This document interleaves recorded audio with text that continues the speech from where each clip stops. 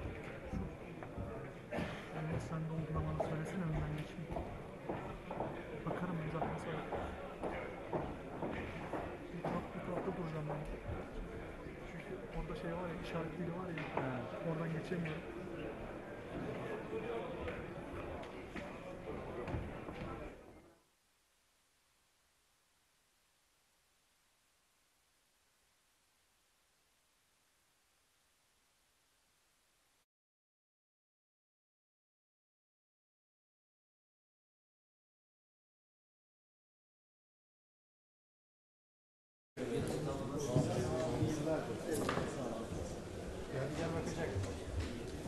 Sadece tekrar merhaba. Yukarılara hoş geldiniz. Ahmet hoş.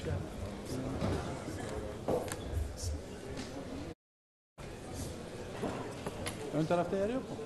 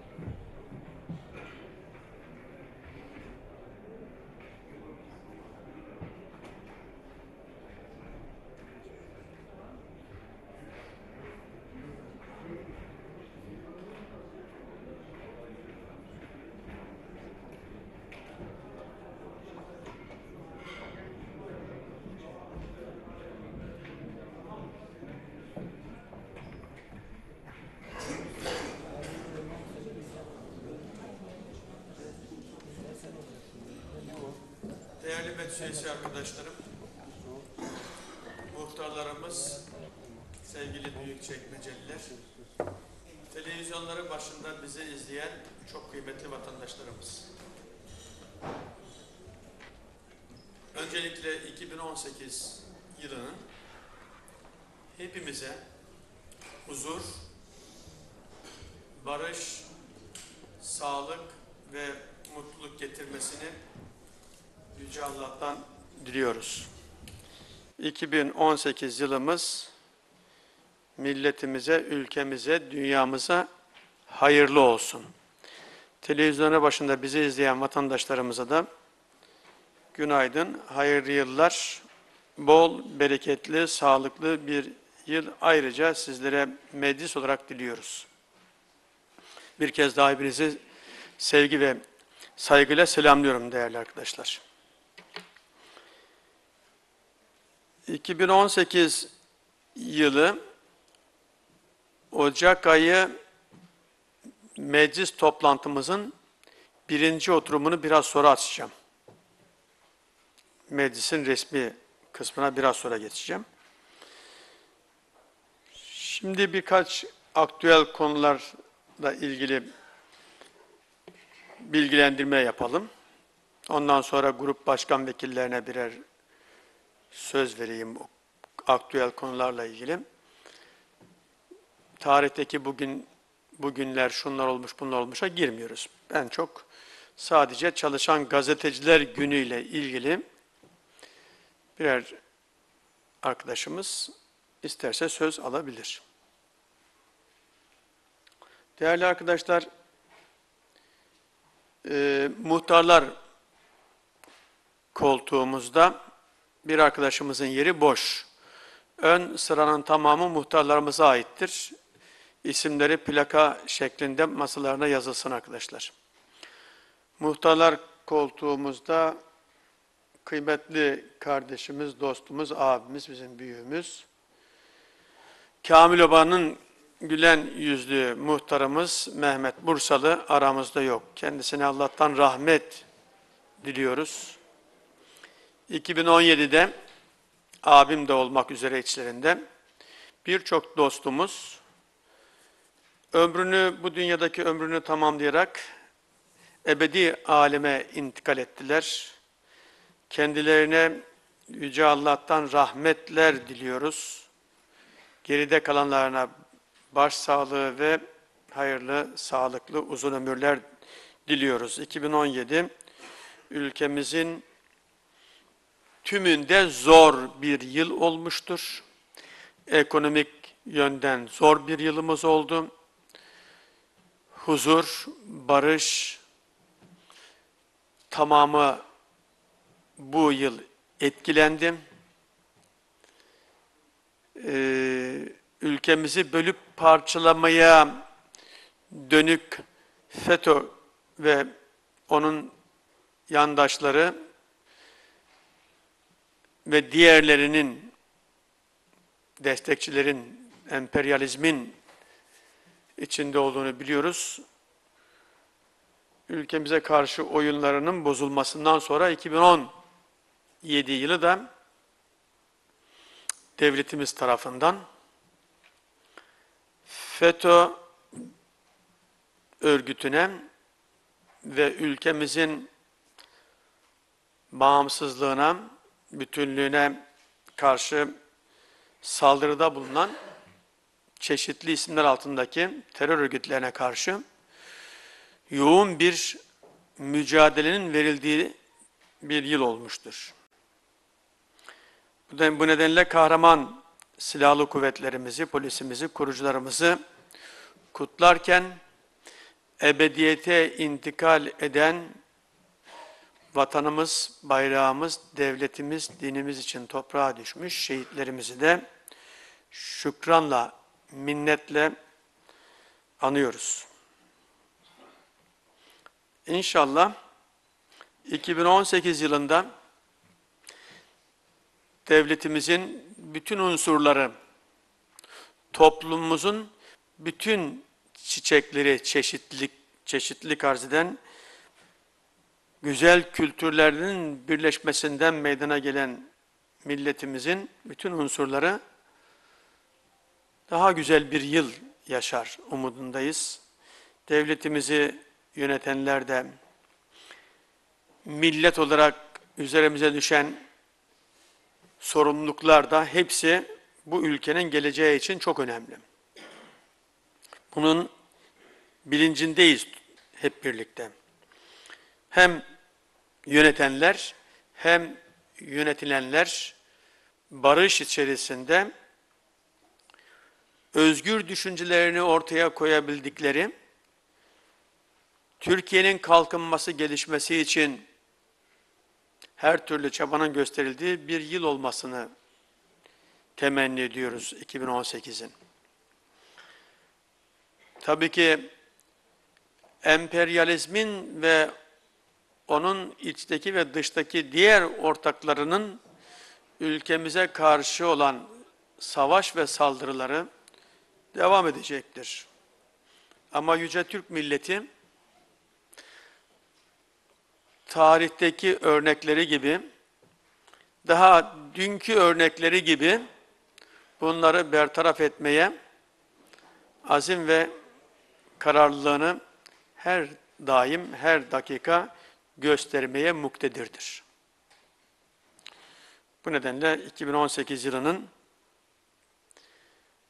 bu duygu ve düşünceler içerisinde daha güzel bir yıl olmasını bir kez daha meclis olarak diliyoruz. umuyoruz inşallah insanımızın, çalışanımızın, yöneticimizin daha mutlu olduğu, yüzünün daha çok güldüğü, barış, sevgi ve dostluk rüzgarlarının çok daha fazla pekiştiği bir yıl olur 2018 yılı.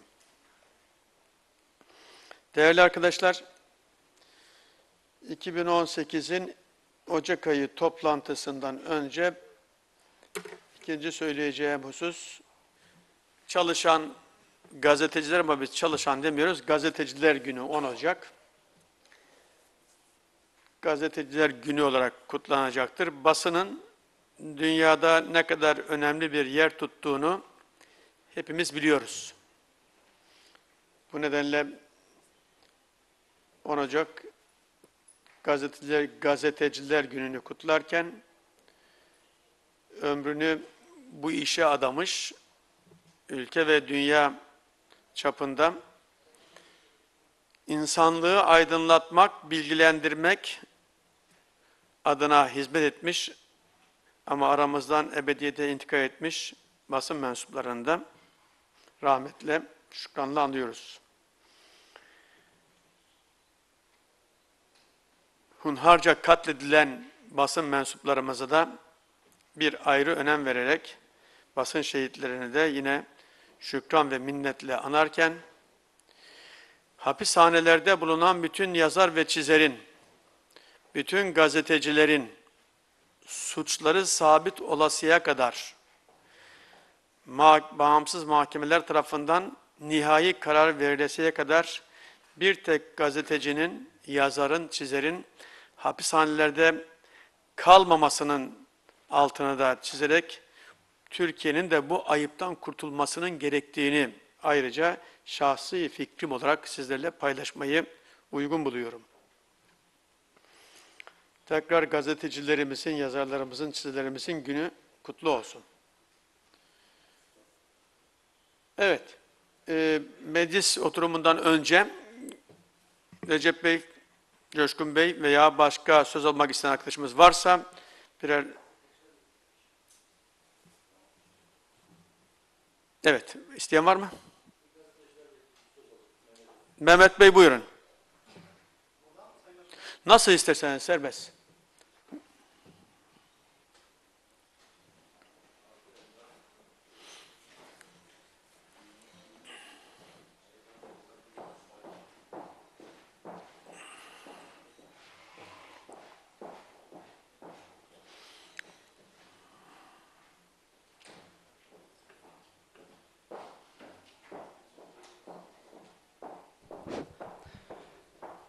Sayın Başkan, değerli meclis üyeleri, hepinizi sevgi, saygı ve muhabbetle selamlıyorum. Mir Mehmet Öztürk, belediye meclis üyesi.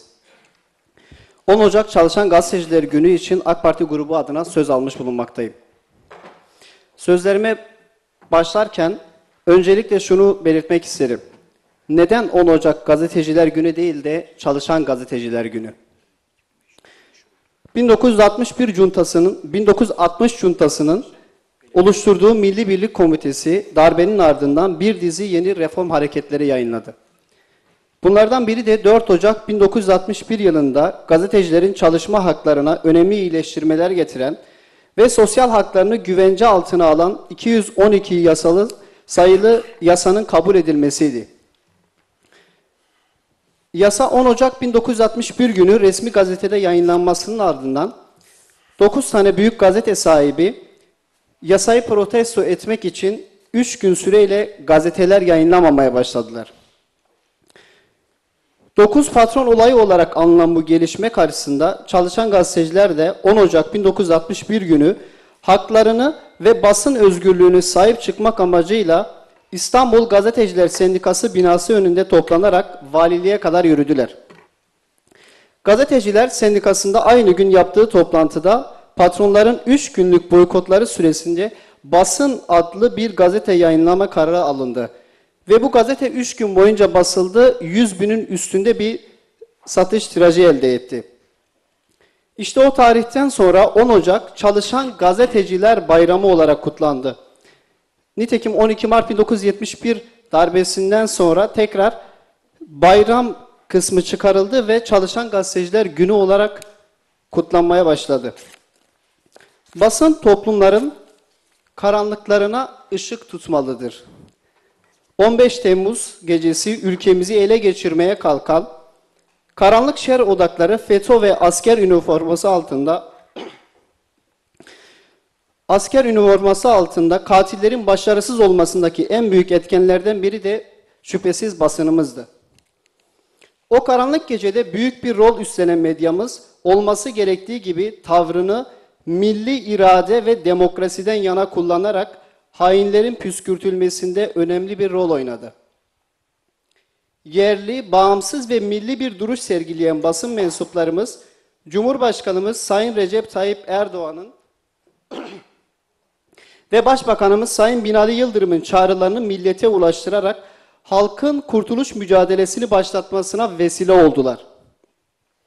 Vatandaşlarımızın hain darbe girişimine karşı refleks oluşturmasının önünü açan başkomutanımız ifadelerini milletin yüreğine ve vicdanına yasan basın mensuplarımız bu önemli ve bir o kadar da kutsal olan görevi ifa ettiklerinden dolayı onlara bir kez daha teşekkürlerimi sunuyorum.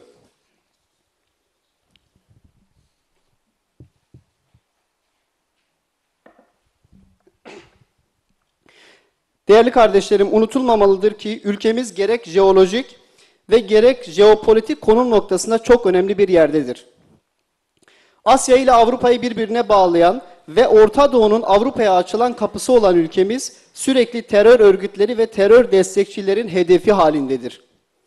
Söz konusu böyle olunca bu örgütler sadece askeriye veyahut kamuda ya da bürokraside yapılanmıyorlar. Gazeteciler kisvesi adı altında da yapılanmaları gayet tabi beklenen bir durumdur. Bu durum göz ardı edilmeyecek kadar önemlidir. Unutulmamalıdır ki Türkiye Cumhuriyeti bir hukuk devletidir ve hukukun önünde herkes eşittir. İlkesini asla ve asla unutmamamız gerekiyor. Mesleğiniz ne olursa olsun hukuk önünde herkes eşittir ve sizin özgürlüğünüz benim özgürlüğümün başladığı yerde biter ilkesini de asla unutmamamız gerekiyor. Gerek görsel ve gerek yazılı medyada bin bir zorlukla çalışan emektar basın mensuplarının gününü kutlarken sizleri sevgi, saygı ve muhabbetle selamlıyorum. Teşekkür ederim. Teşekkür ediyorum Mehmet Bey.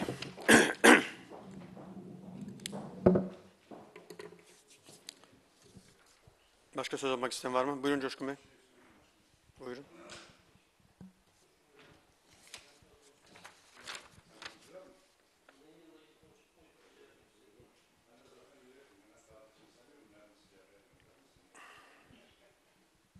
Recep Bey buyur.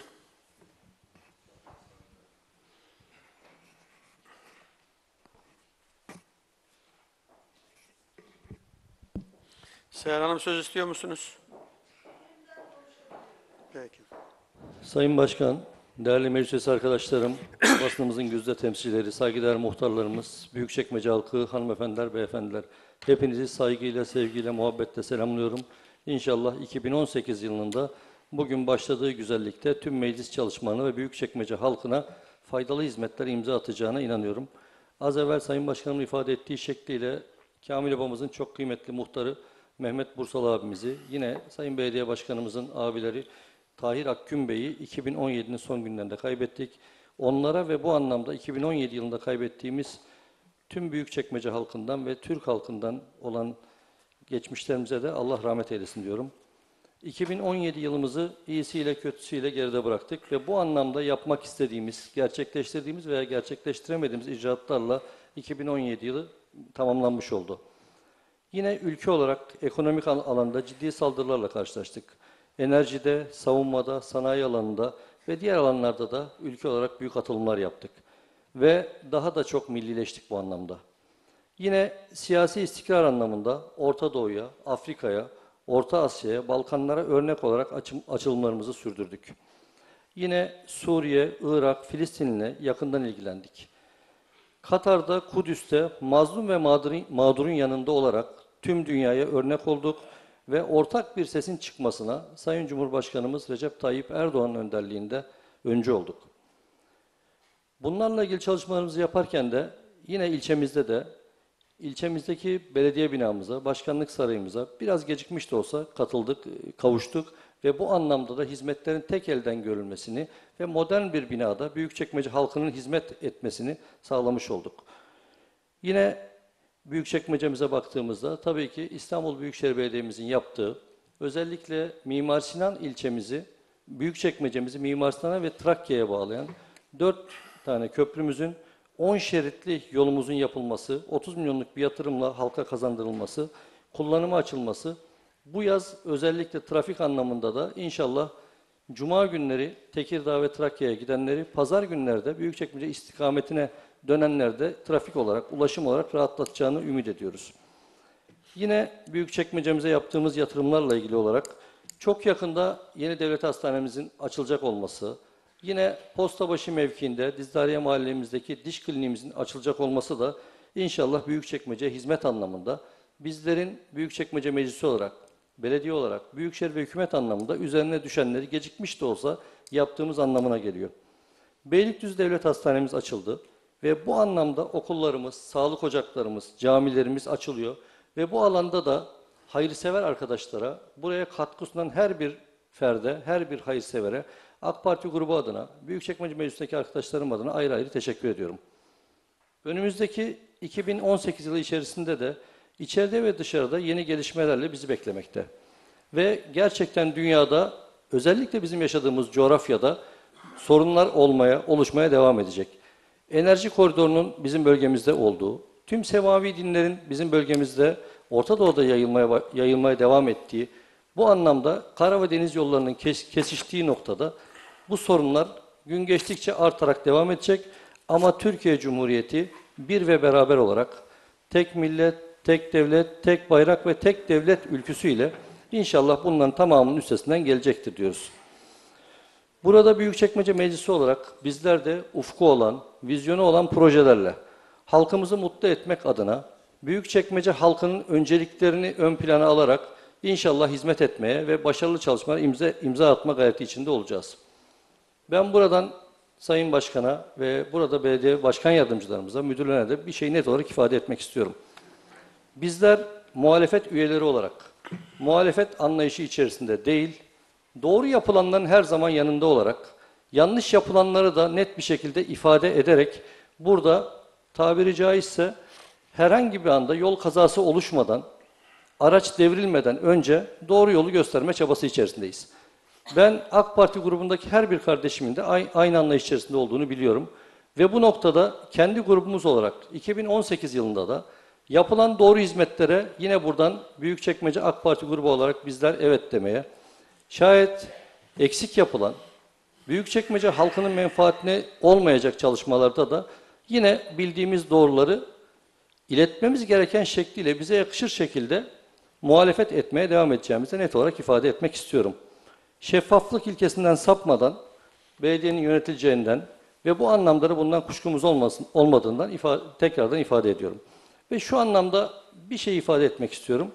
Bugün ulusal basında çıkan bir haberde bu yanlış anlaşılmasın. Buradan mal bulmuş muharibi gibi bir şeylerin üzerine saldırma sevdasında değiliz. Ben ve arkadaşlarım yapılan yanlışları, yapılan eksikleri doğru doğru bir şekilde ifade etmek istiyoruz. Geçtiğimiz dönemde de yat limanı ile ilgili bir firmanın daha önce yat limanı inşaatı ile ilgilenmediği, bu işi yapmadığı ve büyük çekmecedeki liman işinde yapamayacağını ifade etmiştik. Ve bugün de görüyoruz ki bizim dediğimiz noktadayız.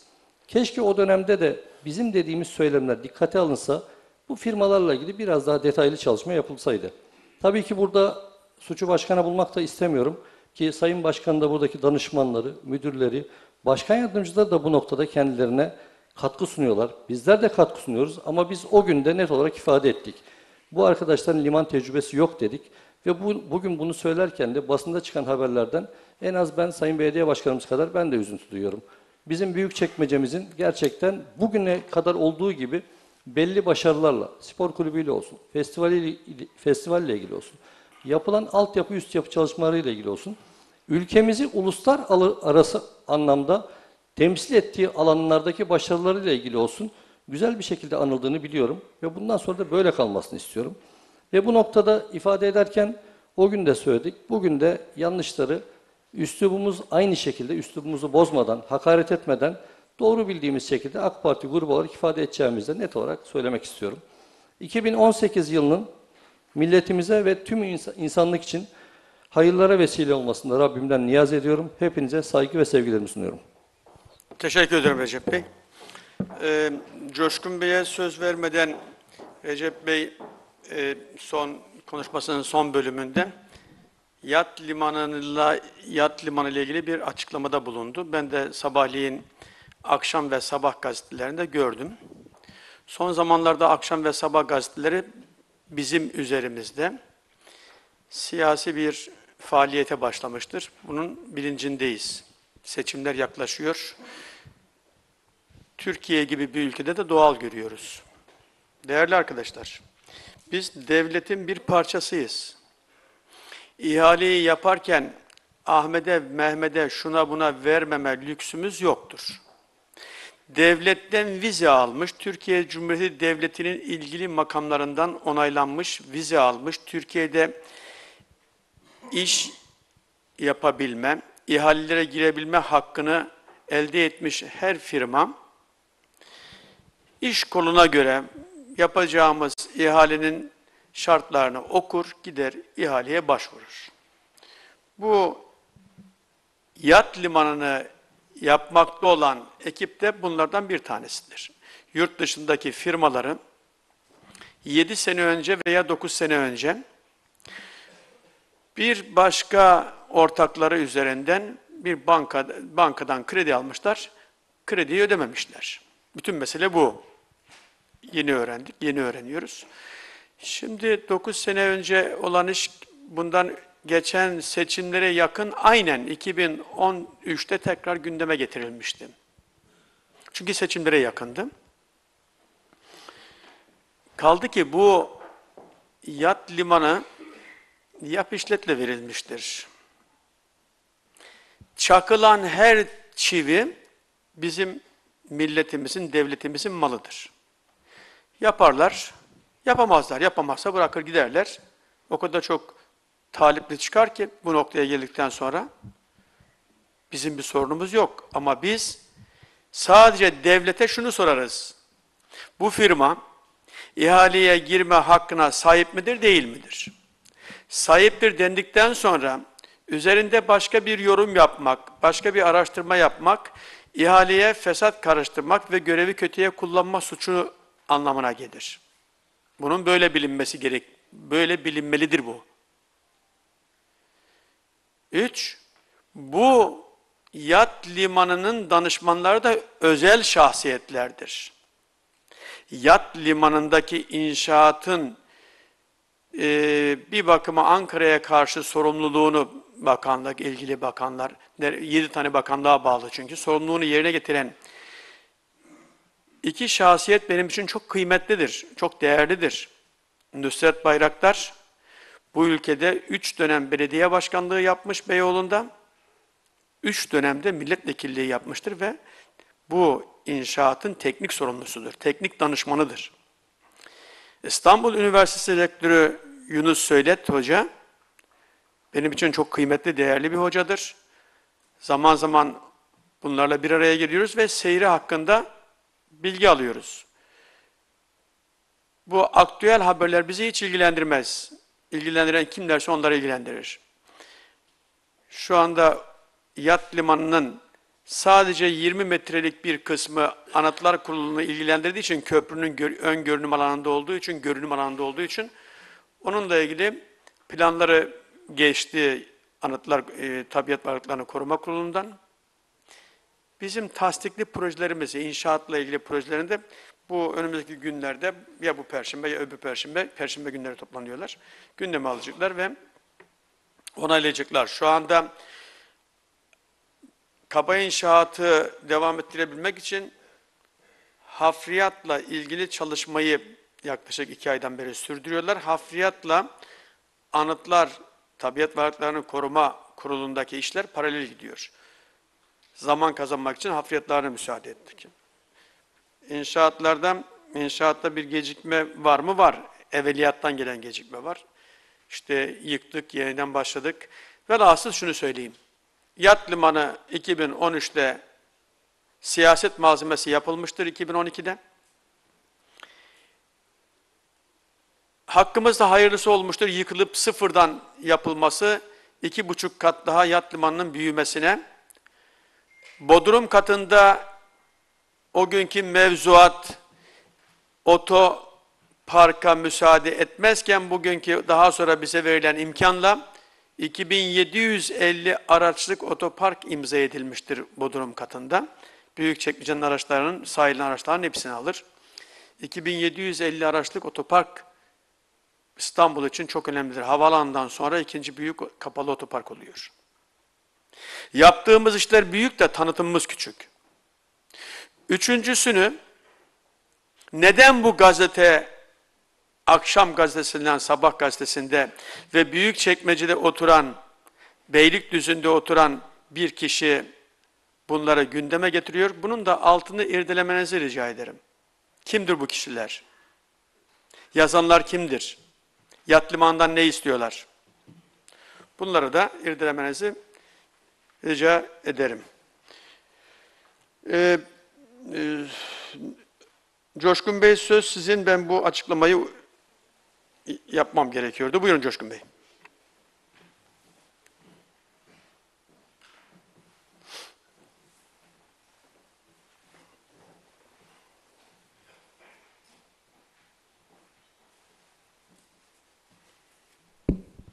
Sayın Başkanım, değerli meclis arkadaşlarım,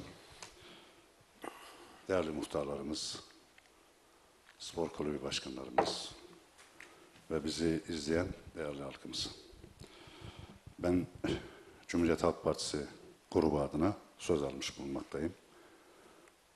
Sözlerine başlamadan evvel 2018 yılının başta şehrimiz, ülkemiz ve tüm dünya için barışa, huzura, birliğe, bütünlüğe, refaha vesile olmasını temenni ediyoruz. Yine geçtiğimiz Aralık ayında 25 Aralık 1973'te Cumhuriyetimizin, Kurtuluş Savaşımızın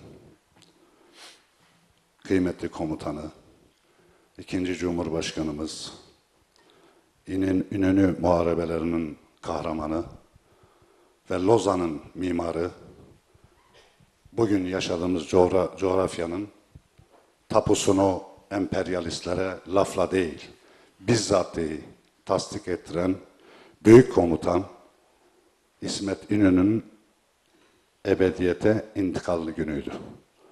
Grubumuz adına, halkımız adına bir kez daha kendisini minnetle, şükranla anarken anısı önünde saygıyla eğiliyoruz. İki, yine çok değerli belediye başkanımız Sayın Hasan Akgün'ün çok kıymetli abisi, abimiz Tayyip Akgün hakkın rahmetine kavuşmuştur. Yine Sayın Başkanımızın şahsında tüm Akgün ailesine başsağlığı dileklerimizi tekrar iletiyoruz. Ve yine maalesef Kamil Oba muhtarımız Sayın, Sayın Mehmet Bursalı. Onu da 24 Aralık günü kaybettik. Tüm başta ailesi Kamil Oba halkımıza taziyelerimizi sunuyor. Başsağlığı diliyoruz. Dün de mevlütüne iştirak ettik Sayın Belediye Başkanımız ve Kaymakamımız ve arkadaşlarımızla. Bunları belirttikten sonra bu çalışan gazetecilerle ilgili e, çalışan gazeteciler yani yandaş medya patronları ya da geçmişte ilanlarla hükümet düşüren ana akımdan bahsetmiyorum. Çalışan emekçi gazetecilerden bahsediyoruz.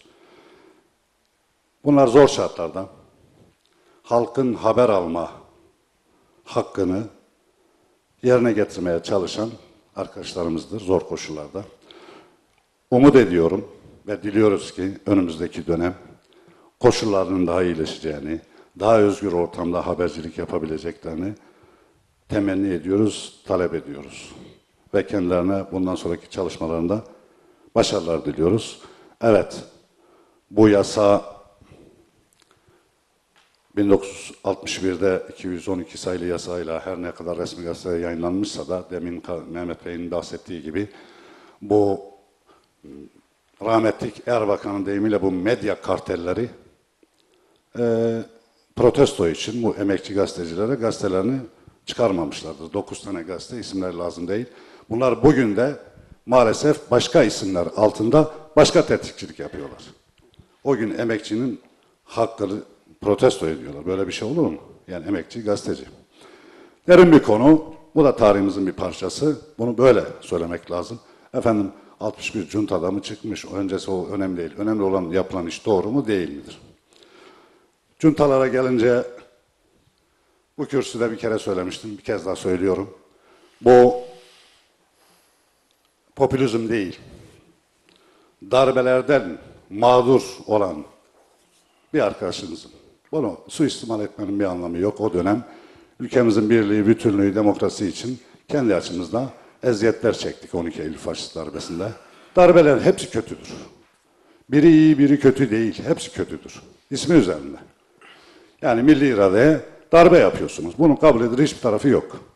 Dün de böyleydi, bugün de böyledir, yarın da böyle olacaktır. Dünya tarihinde de lanetlenen şeylerdir. Bunu ikide bir FETÖ darbesi, ÇETÖ darbesi, lanet olsun hepsine. Mesela bunlar ben hayatımda hatırlayın 3 sene öncesine kadar Zaman Gazetesi'ni eline almayan yükselemiyordu. Yanlıştı. Bağırdık, çağırdık, yapmayın, etmeyin. Bunlar tehlikeli. Anlatamadık. Tekrar lanetliyorum. Aynı hatalara bir daha düşmemeyi diliyorum. Bu, bu ülke bizim arkadaşlar. Partilerimiz farklı olabilir, farklı düşünebiliriz. Ama Allah korusun bu ülke zarar gördüğü zaman hepimiz görürüz. Böyle bakmamız lazım. Burada bir popülizm, goygoyculuğun hiçbir anlamı yoktur. Hiçbir partiye, hiçbirimize.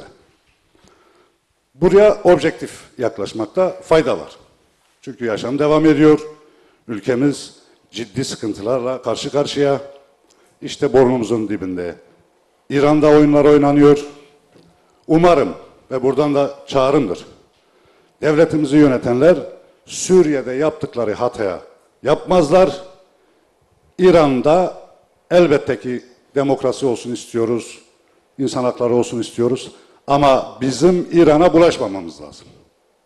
Çünkü çok tehlikeli bir oyun oynanıyor.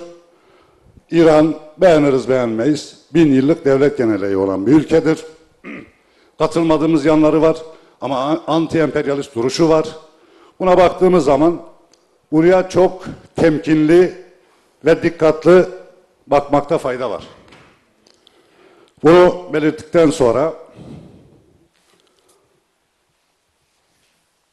şeye gelelim. Yani Orta Doğu bir kan deryası. Biz geçen ay meclis grubu olarak Kudüs'ü ziyaret etme şansını yakaladık. Burada da tekraren Sayın Belediye Başkanımıza böyle bir imkan sunduğu için çok teşekkür ediyorum. Çünkü Kudüs'le ilgili çok şey okuyorduk, duyuyorduk ama bizzatı görmekte büyük fayda olduğunu mutala ettik. İmkanı olan her vatandaşın gitmesinde de yarar olduğunu düşünüyorum. Sıkıntılı bir yer. Filistin davası uzun bir davadır. Ta Yaser Arafat'tan beri başlayan bir davadır. Haklı bir özgürlük mücadelesidir. Geçmişten beri bunu hep savunmuşuzdur. Savunmakta durumundayız. Ama bunu yaparken Türkiye'nin menfaatlerini, milli birlik bütünlüğünü öncelemek gerekiyor. Karınca karınca katkımızı sunmaya devam etmeliyiz. Ama dediğim gibi üç semavi dinin doğuş yeri çok kutsal ve çok önemli bir yer. Bin yıllardan beri çözülemeyen bir sıkıntı. Bunu tabi bizim tek başımıza çözecek durumda değiliz.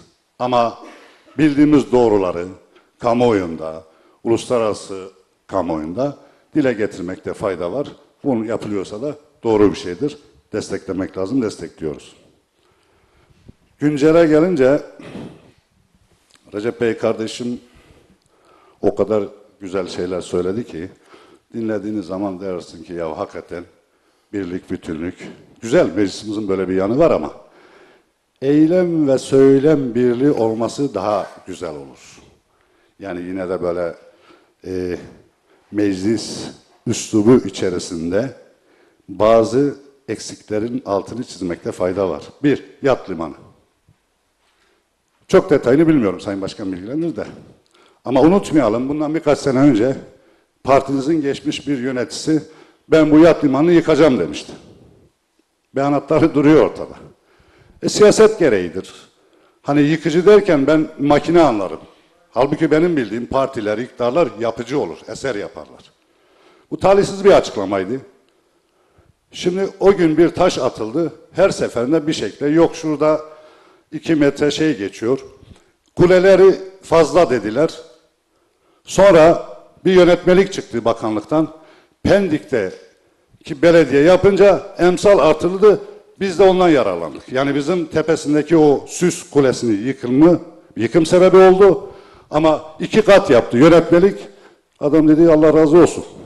Madem yıktınız ben de yapayım. Şimdi bunlar doğru şeyler değil. Çünkü belediyeler arasında, kurumlar arasında, devlet kurumları arasında birlik, şey, bütünlük çok önemlidir. Bir taraftan devletimiz sarmalanmış, içeriden ve dışarıdan hain odaklar tarafından hakikaten hırpalanmak isteniyor. Bu açık net. Ama bizim dikkatli olmamız lazım. En azından bizim devlet kurumları arasında mümkün mertebe bir ahenk için uğraşmak durumdayız. Dolayısıyla ben burada eleştirilere girersem Büyükşehir'in yaptıklarını işin içinde çıkamayız. Yeri değil. Çünkü sonuçta aynı zamanda Büyükşehir'in de meclis üyesiyiz. Ama halkımıza gerçekleri anlatmamız lazım. Pınartepe planları 5 senedir Arap saçına. Gönül isterdi ki genelde iktidar, yerelde muhalefet mensubu arkadaşlarımız Coşkun Bey toparlayın. Vaktimiz kalmadı. Cenazemiz de var. Evet. Hep kol kola versek şu Pınartepe planlarını çıkarabilsek. İnsanlar mağdur. Bunun AKP'si CHP'si olmaz. Her partiden orada insan yaşıyor. Bunu yapmak lazım. Bu bir hizmet olur. Herkes de çık- çıkar burada göğsünü kabartarak evet hep beraber el ele bu planları çıkarttık. Bu bir hizmet olur. Ee, Recep Bey D100 karayolundan bahsetti. Onu bildiğim kadarıyla bilerek bana pas attı. Öyle tahmin ediyorum. Ben de kardeşimi cevapsız bırakmayayım. Vallahi bu tür hizmetler iyidir, güzeldir. Nacizane şurada yedi kişinin de önergede imzası var. Üç defa. Olması için Kadir Topbaş, Sayın Kadir Topbaş döneminde.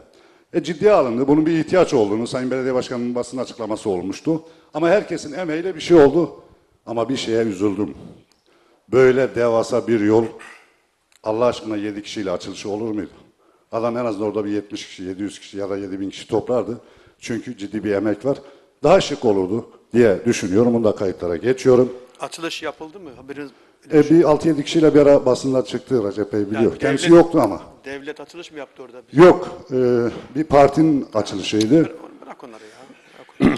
açılış olsa biz de orada oluruz. Evet.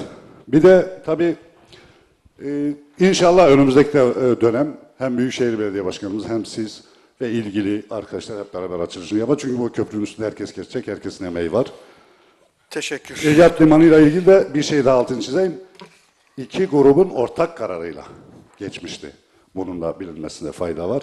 Eğer eksik varsa iki grubun eksiğidir. Başarı da varsa iki grubun başarısıdır. Sayın Başkanım son heh, bir şey daha söylemek istiyorum. Ya bu sokak isimleri. Hani Recep Bey Büyükşehirimizin başarılarından aldık. Doğrudur. Ya arkadaş 70 yıldır, 80 yıldır sokağında yaşayan adam kalkıyor bir sabah, aa benim ço- e, şey sokağım ismi Torbacı Sokak olmuş. Ya ben torbacı mıyım diyor. Geliyor bize müracaat ediyor. Gidiyoruz Büyükşehir'e. Arkadaşlar katkı sunsa böyle olmaz. Sonra dönüyoruz. Hani düzenini önce bozacaksın ya, usulüne göre düzelteceksin. Sonra dönüp bak arkadaşlar Büyükşehir'de biz sokakların ismini düzelttik. Bu popülist bir siyasettir. Oradan kimseye ekmek çıkmaz. Ne bana, ne Recep Bey'e, ne de başkasına. Buna gerek yok. Halk her şeyi biliyor. Yani benim sokağım önce eşeğimi kaybettiriyorsun, sonra buldurup teşekkür ettiriyorsun. Buna hiç gerek yok. Bunlar ucuz siyaset. Toparlayın. Şeyi de söyleyeyim, hizmetleri sayarken bir şey unuttu Recep Bey, onu da ben tamamlayayım. Şu Çakmaklı'da çöp arıtma tesisinde, bu da çekmece. Çöp transfer istasyonu. Evet, bu da halkımıza büyük bir nimet. Yani İstanbul'da başka yer yok. Getirip meskun mahallenin içerisine, bu da arkadaşlarımızın başarılı, başarıları.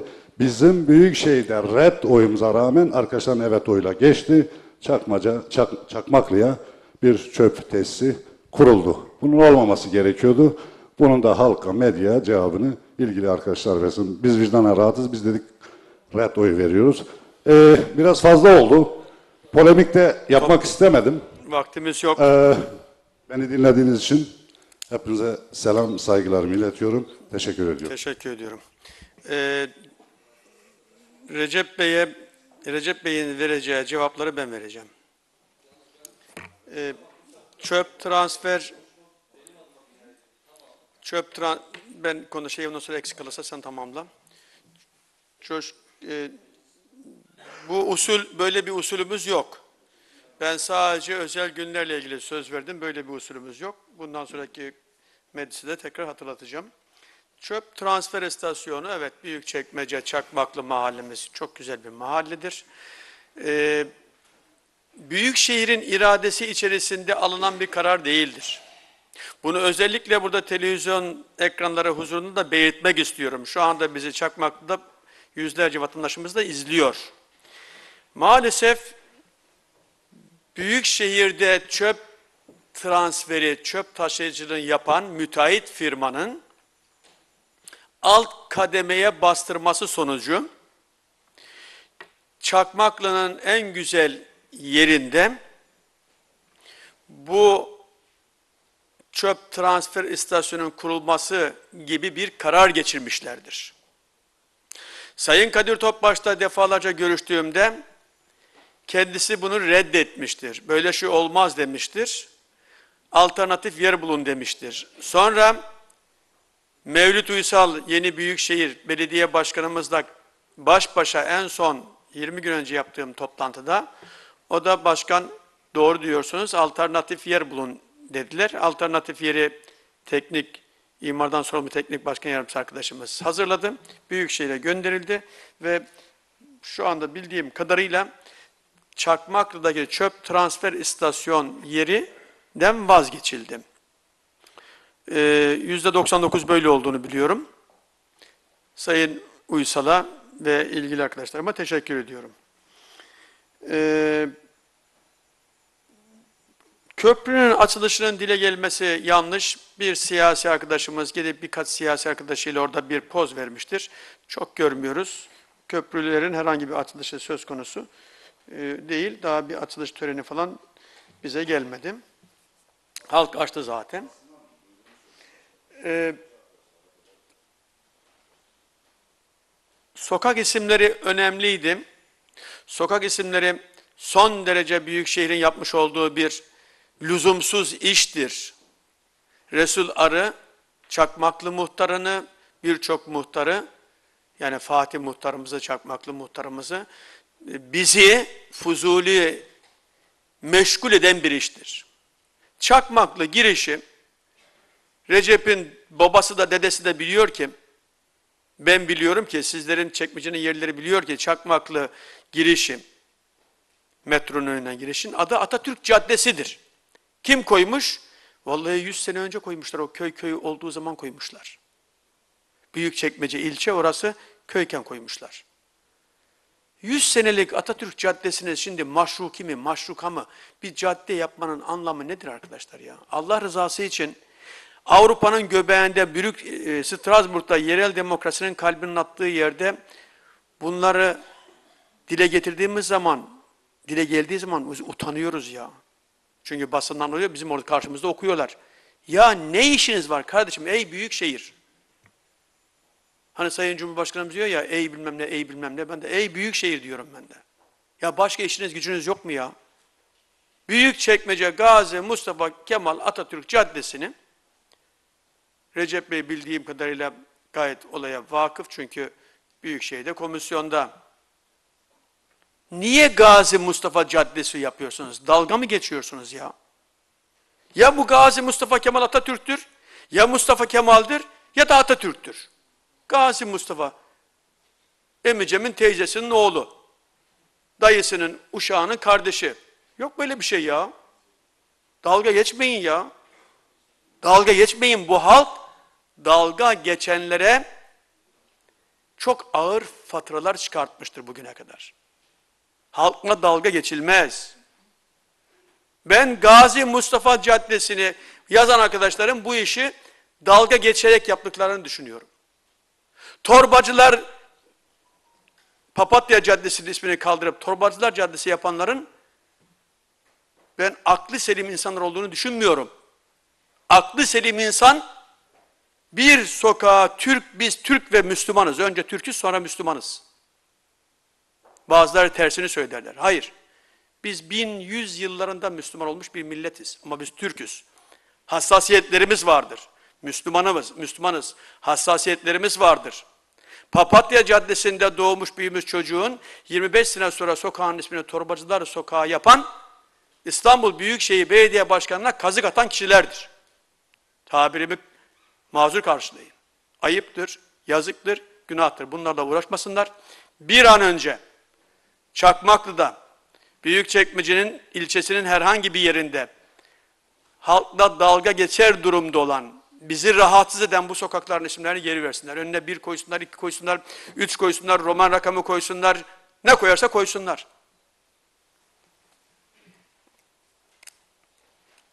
Değerli arkadaşlar yine biraz önceki yat limanı gibi haber yapan malum iki gazete. Geçen de bir haber yapıyor. Efendim 800 liraya mal olması, metrekaresi 800 liraya mal olması gereken Büyükçekmece Belediye binasının belediye sarayının çok fahiş fiyatla yaptığımızı ve devleti zarara soktuğumuzu bu nedenle teftiş, müfettiş falan.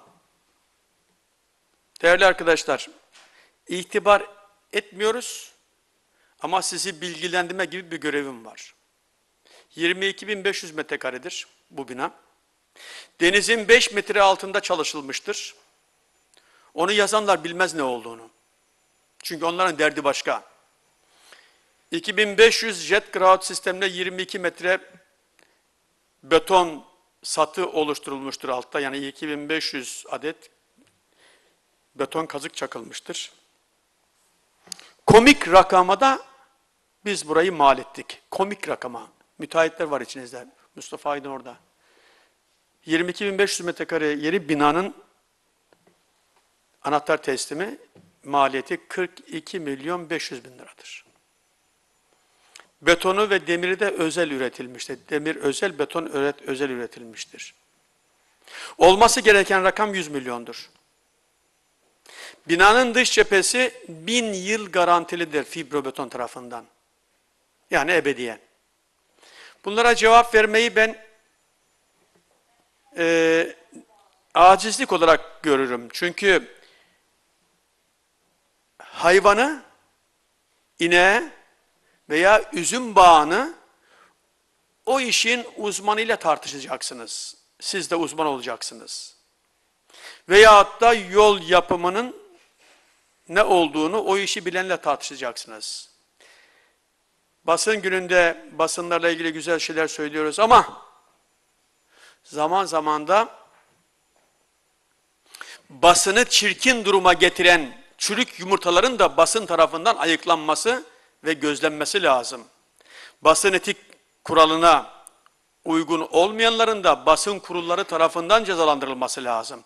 Sadece hükümete yüklen, sadece Cumhurbaşkanı'na, Başbakan'a, Belediye Başkanı'na yüklen. Vay efendim basın mensubu şuydu, basın mensubu buydu.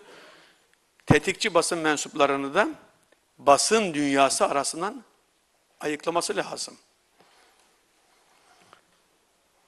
Ahmet Şahin kardeşimizin babası biraz sonra ameliyata giriyor. Allah kendisinden Şahin, şey, e, Ahmet Şahin'im, evet.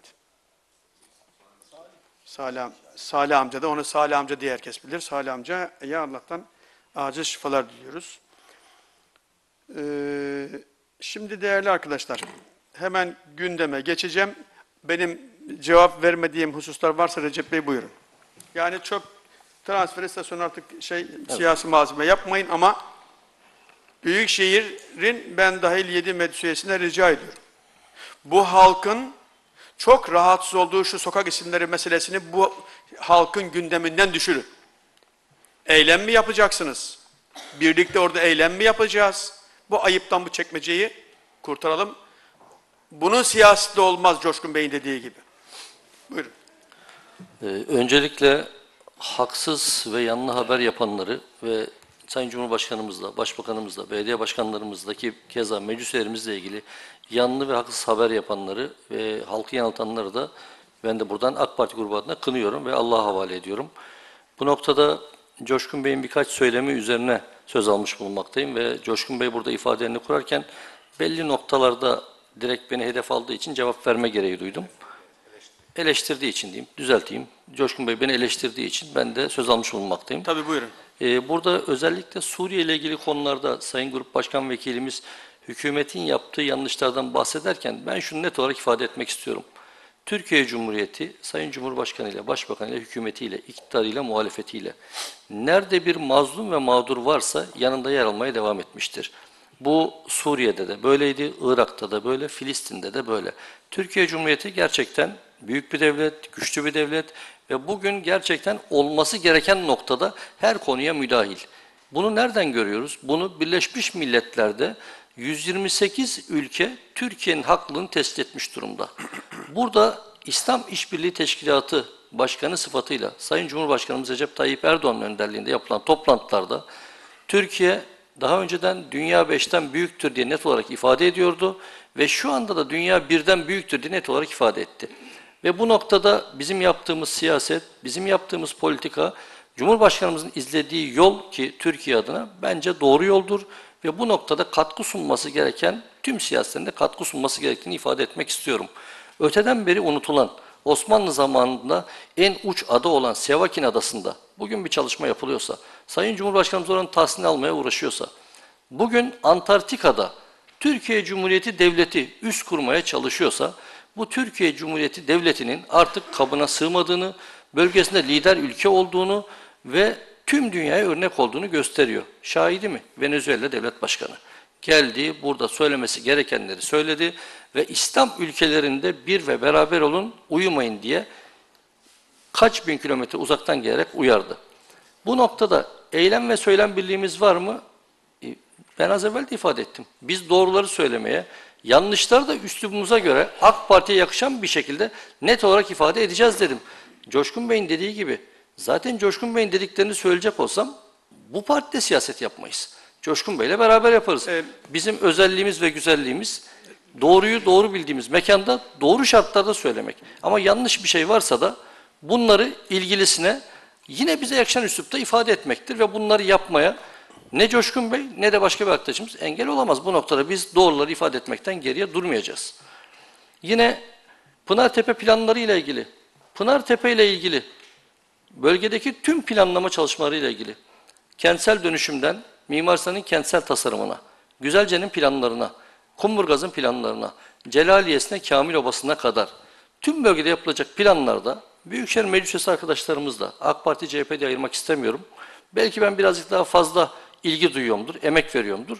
Bu noktada gazetelere çıkıyorumdur. Bunu da hoş görsünler, bir şey demiyorum. Emek verdiğim zaman benim de öyle bir kötü alışkanlığım var. Gazeteye de çıkmaya çalışıyorum. E, bu noktada bölgedeki imarlarla ilgili gerçekten ilgiliyiz. Bir noktada bunu net olarak söylüyorum. Parsel bazında çalışma kesinlikle bizim tasvip ettiğimiz bir konu değil. Ben ve arkadaşlarım parsel bazında bir çalışmanın içerisinde olmama gayreti içerisindeyiz. Ama bölgeyi ilgilendiren Celaliyesi'yle, Kamil Obası'yla, diğer konularla ilgili bir alan varsa ki Pınartepe'de, Atatürk Mahallesi'nde, Fatih Mahallesi'nde bunlarla ilgili çalışma yapıyoruz ve yapmaya da gayret ediyoruz. Bu noktada belediyedeki başkan yardımcılarımızla, sizlerle, Büyükşehir'deki meclis üyesi arkadaşlarımızla, teknik anlamda Tarık Bey'den de buradan bilgi alıyoruz. Ve bu noktada Büyükçekmece halkına bir nebze de olsa rahatlatma çabası içindeyiz ve bunu da yapacağız. Yine köprü açılışıyla ilgili geçtiğimiz günlerde yapılan çalışma orayı bir ziyaretten ibaret olan bir çalışma. O anda da e, bizim teşkilattaki arkadaşlarımızın birlikte bir açılış havasına büründüğü bir çalışma ama bu gerçek açılış değil. Bununla ilgili geçtiğimiz günler Sapanca'da Mevlüt Uysal Başkanımızla yaptığımız toplantıda ki sizleri de davet edecektir burada ilçe belediye başkanı olması hasebiyle bir açılış planlandı. Büyükçekmece'deki yapılacak yatırımlarla ilgili bir çalışma içerisinde olduğunu ifade ettiler. Çöp istasyonuyla ilgili de duyarlılığınızdan, Büyükçekmece halkının duyarlılığından, Çakmaklı halkının duyarlılığından memnuniyet duyduk. Bu noktada az evvel ifade ettiğiniz şekliyle burası farklı bir noktaya kaydırılacak ve burada e, yerin üzerinde şu anda tahsisi olan Gençlik ve Spor Bakanlığı tahsisatını kaldırmış bulunmakta ve bununla ilgili de mutlak surette sizlerin de bilgisine başvurularak bunu farklı bir noktaya alacaklarını e, düşünüyorum. %99 dediniz. Ben de aynı şeyi ifade etmek istiyorum. Yat limanı ile ilgili de yine Coşkun Bey'in ifade ettiği bir siyasi ilçe başkanının ki bizim AK Parti ilçe başkanlarına bir arkadaşımızı kastettiğini biliyorum. Yıkacağım dediğini söyledi. Bu arkadaşımız orada yıkacağım derken zannederim kaçak olan kısımları yıkacağını ifade etti diye düşünüyorum. Söz verdiğiniz için ayrıca teşekkür ediyorum. Buyurun. Ee, isim kullanmayacağım çünkü sataşma hakkı doğuyor. Ben e, arkadaşı sevdiğim için böyle ismini geçirdim kayıtlarda ama Lütfen sataşacak o- bir şey yapmayın. yok, yok sataşma yok. Fakat e, Arkaya su, su servisi niye yapmıyorsunuz arkadaşlar? Şimdi Amirler. bu vallahi aklımın ucundan bu Savakin Adası hiç geçmemişti. Bu Savakin Adası Mısır ile Arabistan arasında Sudan'a ait olan bir yerdir. Doğru mu eğri mi tartışılır bilmiyorum ama madem adalardan konu açıldı bence şu Yunan adalarına da hep beraber aynı duyarlılığı gösterirsek ki bu da bizim için milli meseledir. Ayırmamak lazım. Hep beraber onunla biraz daha ilgi gösterelim. Ne gerekiyorsa yapalım. Teşekkür ediyorum. Değerli arkadaşlar, meclisimizde ilk defa genel siyasetle ilgili konular konuşuldu. Bundan sonra asla olmayacaktır. Genel siyaset belediye meclislerine kapalıdır. Bura Büyükçekmece halkına hizmet etmek için halk tarafından seçilmiş halkın temsilcilerinden oluşan meclistir. Bugünden sonra herhangi bir şekilde genel siyasete girildiği zaman ben söz alan arkadaşımızın sözünü kesmek durumunda kalacağım. Çünkü görevim gereğince. Genel siyaseti parti başkanları yapacak, genel başkanlar yapacak. Biz yerel siyaseti yapacağız. Nedir o? Planı konuşacağız, sokak isimlerini konuşacağız, köprüyü konuşacağız falan. Bunu da hatırlatmayı görev saydım. Şimdi hızlıca gitmemiz lazım çünkü belediye personelimizin babası burada çalışıyor şu anda. Mimar Sinan'dan kalacak. Evet, gündem konuları. Vereceğim. Ee, evet. Şeyler hazırlanıyor. Dışarısı. Seher Hanım buyurun. Seher Hanım kısa olursa bunlar çok konuştular. Senin hakkına tecavüz ettiler bilesin. Onları Hayır, zaten çok kısa konuşacağım Sayın Başkanım. Seher İlhan Yıldız Yani bir kişi üyesi. olmanızla burada 30 kişi olmaları arasında fark yok ki sizin hakkınızla onların hakkı benim gözümde eşit. Eşitsiniz. Eğer eşitlemek istersek bir gün 3 saat konuşurum başkanım. Buyurun. Ee, Sayın Başkanım, Sayın Meclis Üyesi arkadaşlarım ve muhtar arkadaşlarım. Herkese mutlu yıllar diliyorum. Ülkemiz için de aydınlık geleceklerin bizleri beklediğini umut ediyorum. Gazeteci arkadaşlarım gerçekten çok emek veriyorlar. Genç arkadaşlarım çok zaman harcıyorlar. Ee, zaman zaman haklarının yendiğini biliyorum. Gazeteciler gününün kutlanmasını, sevinçle kutlanmasını arzu ederdim ama kutlamak gerekir mi, gerekmez mi? Kafamda bir sürü soru işaretleri var. Çünkü hapishanelerde özgürlüğü kısıtlanmış gazetecilerin olması benim bu duygularımı ifade etmeme sebep oluyor. Her tür e, bu tür görüntülerden yurt dışındaki e, medeniyet alemi dedikleri alemi de e, bize güldürmemek için e, daha dikkatli davranmamız gerektiğini düşünüyorum. Çünkü düşmanı çok bir milletiz, dostu az bir milletiz. Bunları göz önünde bulundurarak gazetecilere özgürlükler diliyorum. Özgür basının gününü kutlamak için içimden gelmiyor ama onlara saygılar sunmak istiyorum.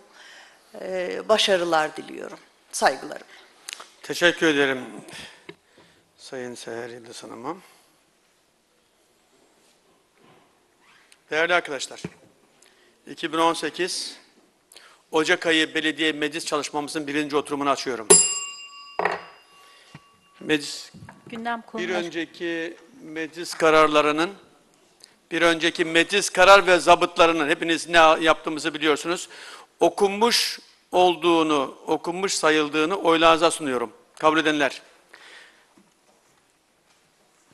Kabulünü oylarınıza sunuyorum. Kabul edenler ittifakla kabul edilmiştir. Gündem konuları.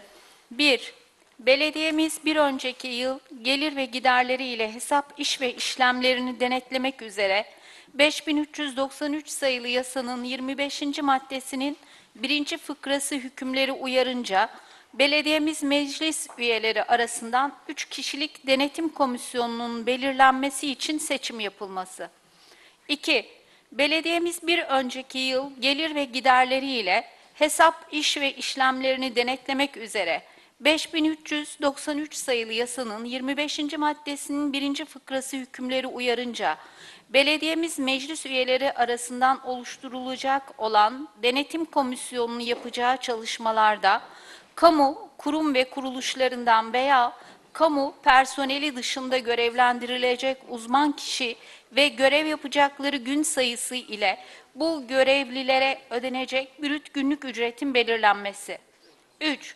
Belediyemizde 2017 yılında sözleşmeli personel olarak çalışan personelin 5393 sayılı yasanın 49. maddesi ve 657 sayılı yasanın 4 Taksim B maddesi hükümleri uyarınca kadro karşılık gösterilmek ve tam zamanlı olarak sözleşme yapılmak suretiyle 2018 yılında sözleşmeli personel olarak istihdam edilmesi ve 2018 yılı sözleşme ücretlerinin belirlenmesi hususunun karara bağlanması. 4.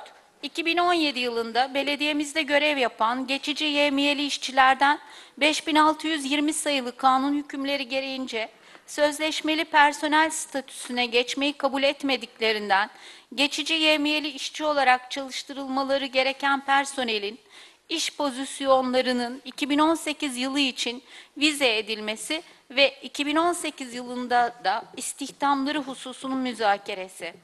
5. Belediyemizde 5620 sayılı yasanın 3. maddesi ile belediye ve bağlı kuruluşları ile mahalli idare birlikleri norm kadro ilke ve standartlarına dair yönetmelikte değişiklik yapılmasına dair yönetmeliğin birinci maddesi hükümleri doğrultusunda mevsimlik işçi istihdam edilmesi ve bu hususta 2018 yılında ihtiyaç duyulan geçici iş pozisyonlarının vize edilmesi ve buna ilişkin olarak hazırlanan vize cetvellerinin karara bağlanması. 6. Belediyemiz ile Türk Yerel Hizmet Sen isimli memur sendikası arasında 4688 sayılı kamu görevlileri sendikaları kanununun 32. maddesi ile geçici 14. maddesi hükümleri doğrultusunda sosyal denge sözleşmesi imzalanmak üzere belediye başkanına yetki verilmesi hususunun müzakeresi ve karara bağlanması. 7. Belediyemiz Meclisi'nin 2018 yılında tatil edileceği ayın 5393 sayılı yasanın 20. maddesi uyarınca belirlenmesi. 8. Belediyemiz 2018 mali yılı evsel katı atık ücret tarifesinin müzakeresi ve karara bağlanması. 9. Belediyemiz sınırlarında bulunan Celaliye Mahallesi, 595 ada ve 5 parselin güneyindeki park alanında ve Pınartepe Mahallesi, 1205 ada 1 parsel güneyindeki otopark alanında olmak üzere toplam 2 adet trafe yerinin üzerinde 5393 sayılı Belediye Kanunu'nun 70 75. maddesi ile 18. 18. maddesinin E fıkrası gereğince Türkiye Elektrik Dağıtım AŞ TEDAŞ lehine 25 yıl süreyle irtifak hakkı tesis edilmesi hususunun müzakeresi ve karara bağlanması. 10. Belediyemiz bünyesinde plan ve proje müdürlüğünün kurulması ve bir adet plan proje müdürü kadrosu ihtas edilmesi hususunun 5393 sayılı Belediye Kanunu'nun 48. maddesi gereğince müzakeresi ve karara bağlanması. 11.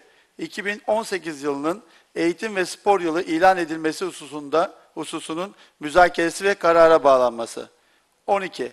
Büyükçekmece ilçesi Yeni Mahalle 2599 parsele ilişkin 1 bölü 1000 ölçekli imar plan tadilatı hususunun müzakeresi ve karara bağlanması. 13. 03.07.2017 tarih 30.113 sayılı planlı alanlar imar yönetmeliğinin 51. maddesinin 5. fıkrasına istinaden Büyükçekmece ilçesi genelinde İmar ve Şehircilik Müdürlüğü tarafından tespit edilen ticaret teşekkülü olan sokak ve caddelerin zemin katlarında ticaret uygulaması yapılması hususunun müzakeresi ve karara bağlanması.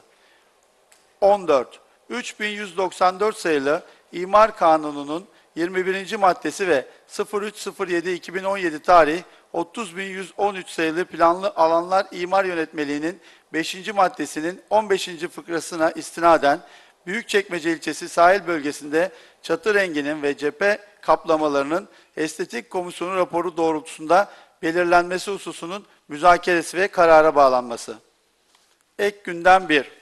Destek Hizmetleri Müdürlüğü'nün talebi doğrultusunda muhtelif marka ve modelde kamyon alımında kullanmak üzere belediyemizce yurt içi kamu bankalarından belediyemiz menfaatine olması durumunda özel bankalardan toplam 5 milyon TL faiz artı komisyon ve bunun gibi giderler tutarında kredi alınması bu hususta belediye başkanına yetki verilmesi hususunun tensiplerinize sunar. Uygun görüldüğü takdirde bu hususta karar alınmak üzere yazımızın 5393 sayılı kanunun 18. maddesinin D fıkrası ile 38. maddesinin D fıkrası ve 68. maddesinin hükümleri gereğince meclise havalesini arz ederim. Ek gündem 2. Büyükçekmece ilçesi, Fatih Mahallesi, 5337 ada bir sayılı parselde belediyemiz adına kayıtlı bulunan taşınmaz üzerinde bodrum artı 4 katlı bina öğretmen evi olarak kullanılmak şartıyla İstanbul Valiliği İl Milli Eğitim Müdürlüğü'ne 15-12-2000 tarihli yapılan protokolle tahsis edilmiştir. Büyükçekmece Öğretmen Evi'nin zarar etmesi ve yeterli düzeyde hizmet veremediği gerekçesiyle 30-12-2017 tarihine kadar kurumlarına ait aboneliklerinin iptal edilerek personel tasfiye işlemlerinin tamamlanmasının istenildiği ilgi yazıda anlaşılmaktadır. Bu nedenle makamınızca da uygun bulunması halinde belediyemiz mülkiyetinde bulunan ve imar planlarında sosyal kültürel tesis alanı kalan 10.064.18 metrekare yüz ölçümlü 537 ada bir parsel üzerindeki bodrum artı 4 katlı bina bundan böyle büyük Büyükçekmece öğretmen evi olarak kullanılamayacağından söz konusu yerin belediyemiz hizmetlerinde kullanılması için Milli Eğitim Bakanlığı'na yapılan tahsisin kaldırılması hususunda 5393 sayılı yasanın 18. maddesine göre karar alınmak üzere yazımızın belediye meclisine havalesi olurlarınıza arz ederim. Teşekkür ederim. Gündeme ilave edilmesini istediğiniz herhangi bir şey var mı arkadaşlar? Meclis gündemine. Gündemin birinci maddesi değerli meclis üyesi arkadaşlarım ve özellikle iki grup başkan arkadaşıma e, hitap ediyorum. Bu 11. maddeyi e, eğitim ve spor yılı maddeyi madde yerinde kalmak şartıyla maddede bir değişiklik yapmayalım. Madde 11. sırada kalması şartıyla bunu öncelikli görüşmeyi oylarınıza sunuyorum. Dışarıda bekleyen çok çocuk var. Oylarınıza sunuyorum. Kabul edenler? Oy birliğiyle kabul edilmiştir.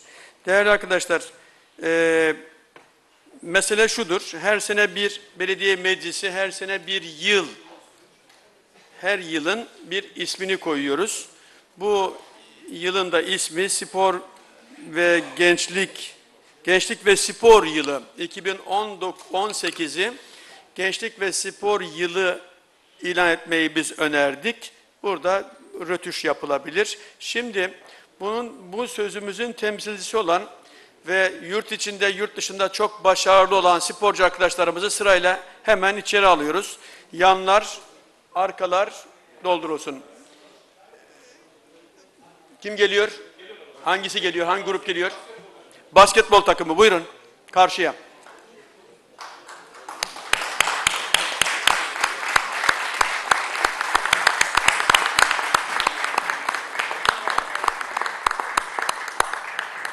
Oraya. Şuraya. Hay. Okey. Al al oraya kadar alabilirsiniz.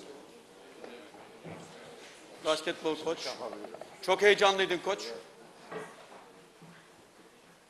Tebrik ediyoruz. Biraz daha Şerif Bey biraz daha alın. Alabilirsiniz.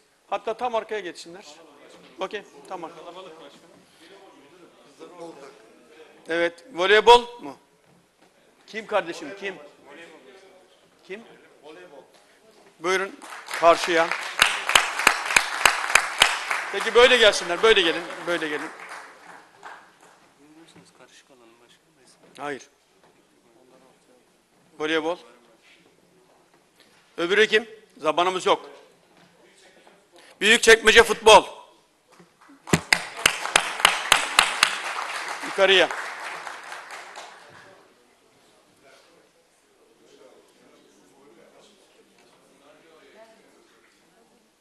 Öyle dizilin. Tamam. Orayı doldurun. Evet.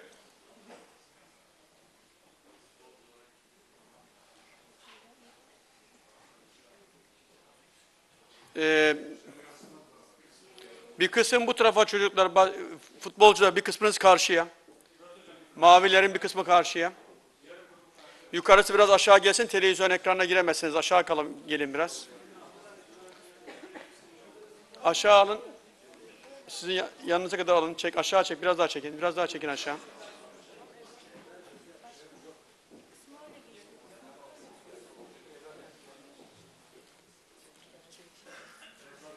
İki kişi daha geçsin oraya yukarıdan.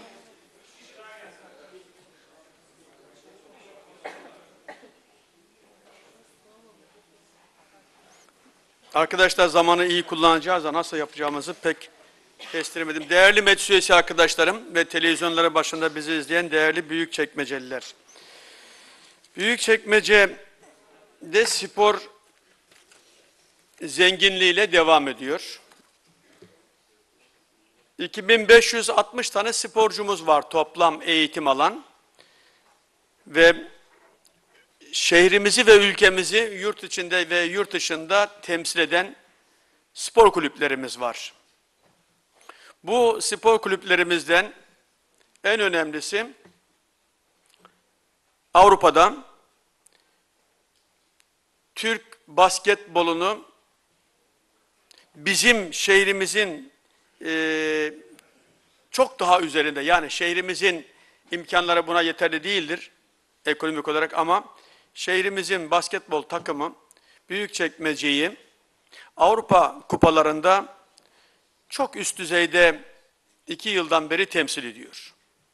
Son 11 yurt dışındaki Avrupa Kupası oynayan FIBA Cup'ta mücadele veren Büyükçekmece Demir İnşaat basketbol takımımız son 11 maçın 9'unu galibiyetle bitirdi yurt dışında.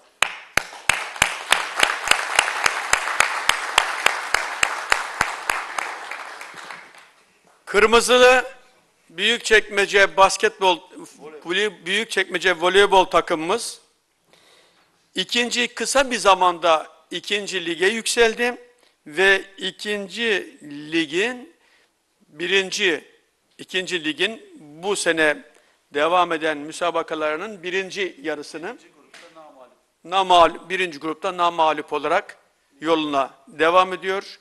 Arkadaşlarımızdan beklentimiz Sultanlar Ligi'nde yurt içinde ve yurt dışında ülkemizi ve şehrimizi temsil etmeleridir. Bu başarılarından ötürü onları da kutluyoruz.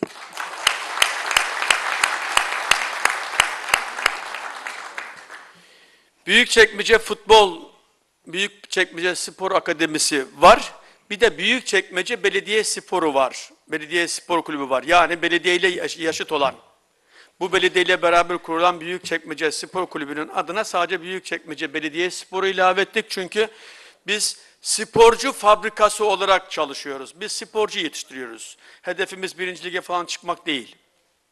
Ama arkadaşlarımız o kadar başarılı oldular ki zannediyorum ikinci dönem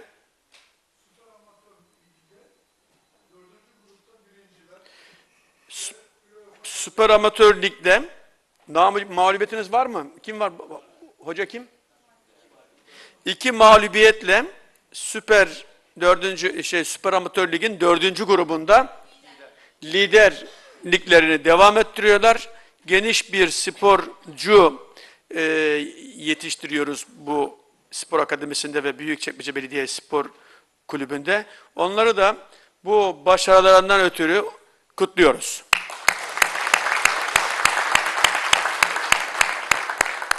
Ve basketbol spor kulübümüzün bu başarıya kavuşmasını, bu başarıya imza atmasına imza atan koç ve teknik heyetini, kız voleybol takımımızın bu başarısına imza atan antrenörleri ve hocalarını, Süper Amatör Lig'de mücadele eden Büyükçekmece Belediyespor'un bu dereceye bu derece başarıya ulaşmasına imza atan antrenör, hoca, top toplayıcı ve eşyacısından kadar kaç kişi varsa hizmet eden onları da kutluyoruz.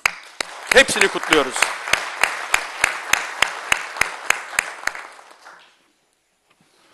Sayın Başkanım bu güzel tablo karşısında bir önergemiz var gündemde. Bu yılın spor ve gençlik yılı ilan edilmesi. Ona geleceğim sonra. Hayır bunu şöyle e, bütün meclisin ortak önergesi olarak oylanmasını öneriyorum. Teşekkür ediyorum. Teşekkür ederim. Ee, biz de bu özellikle basketin koçu nerede?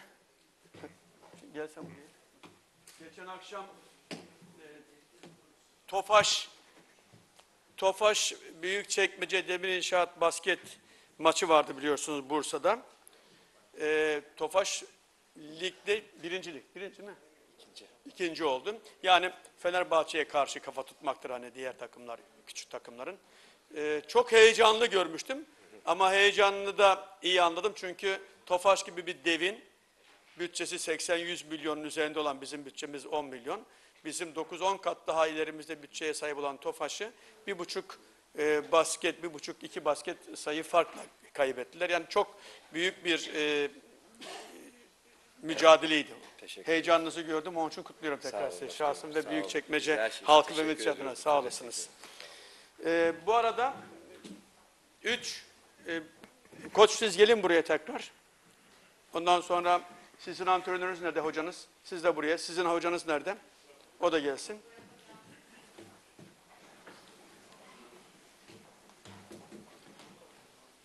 Coşkun Bey, Recep Bey, gruplar adına. Sizin de hakkınız var, buyurun. İlhan Yıldız. Neredesiniz siz? Yanımdayım, yanınızdasınız. Şunu biraz daha girin. Arkadaş, tamam. Siz de oraya. Siz oraya. Seher Hanım siz de gelin. Olur Recep'in yanına gelin siz. Siz geçin Recep'in yanına. Çok da yan yana olmasak daha iyi. Evet. Siz gözükmüyorsunuz değil mi? Biraz sonra gözükürsünüz.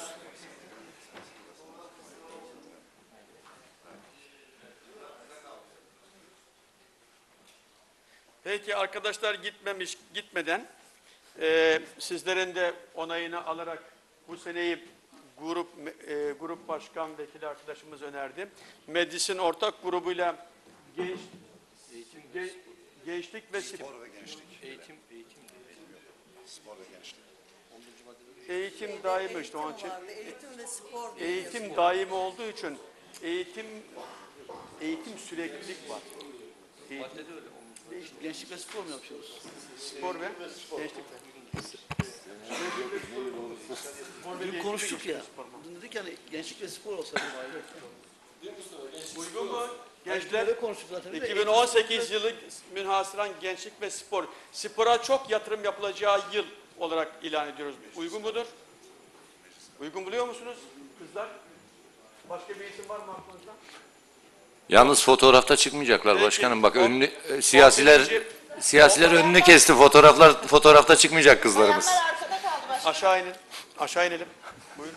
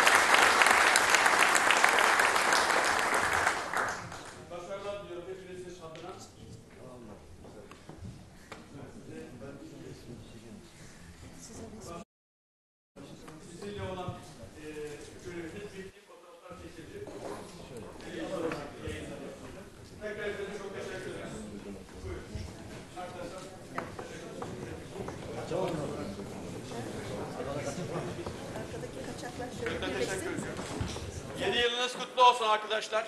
Meclis adına. Meclisimiz adına tüm arkadaşlarımızın, tüm buraya gelen sporcu arkadaşlarımızın yeni yılını kutluyoruz. Sizlere sağlık, esenlik ve başarılar diliyoruz. Yabancı geldi zaten oraya. Sayın Başkanım, ampute milli takım futbolcumuz Murat Çeşme'de oturuyor. Onu da bir dahaki sefere unutmazsak davet edersek İyi olur iyi olur, diye vallahi. düşünüyorum. Ömer Güler Yüz. Ömer Güler Yüz evet. Niye, niye unuttular onu?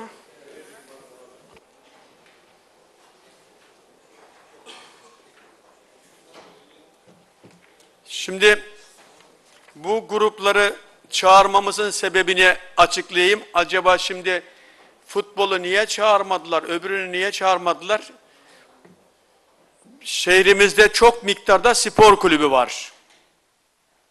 Biz buraya şehrimizi yurt içinde ve yurt dışında en üst düzeyde temsil eden ve bu şu ana kadar müsabakalarda en iyi sonucu alan 3 takımı davet ettik.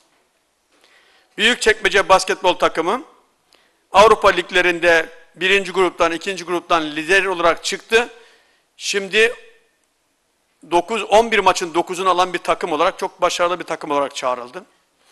Voleybol, kız voleybol takımımız süper bir başarıyla grubunu bir, grupta birinci liderliğini devam ettiriyor ve çok kısa zamanda ikinci lige çıktı. Bu gidişle bir, bir sene, iki sene sonra Sultanlar Ligi'nde göreceksiniz.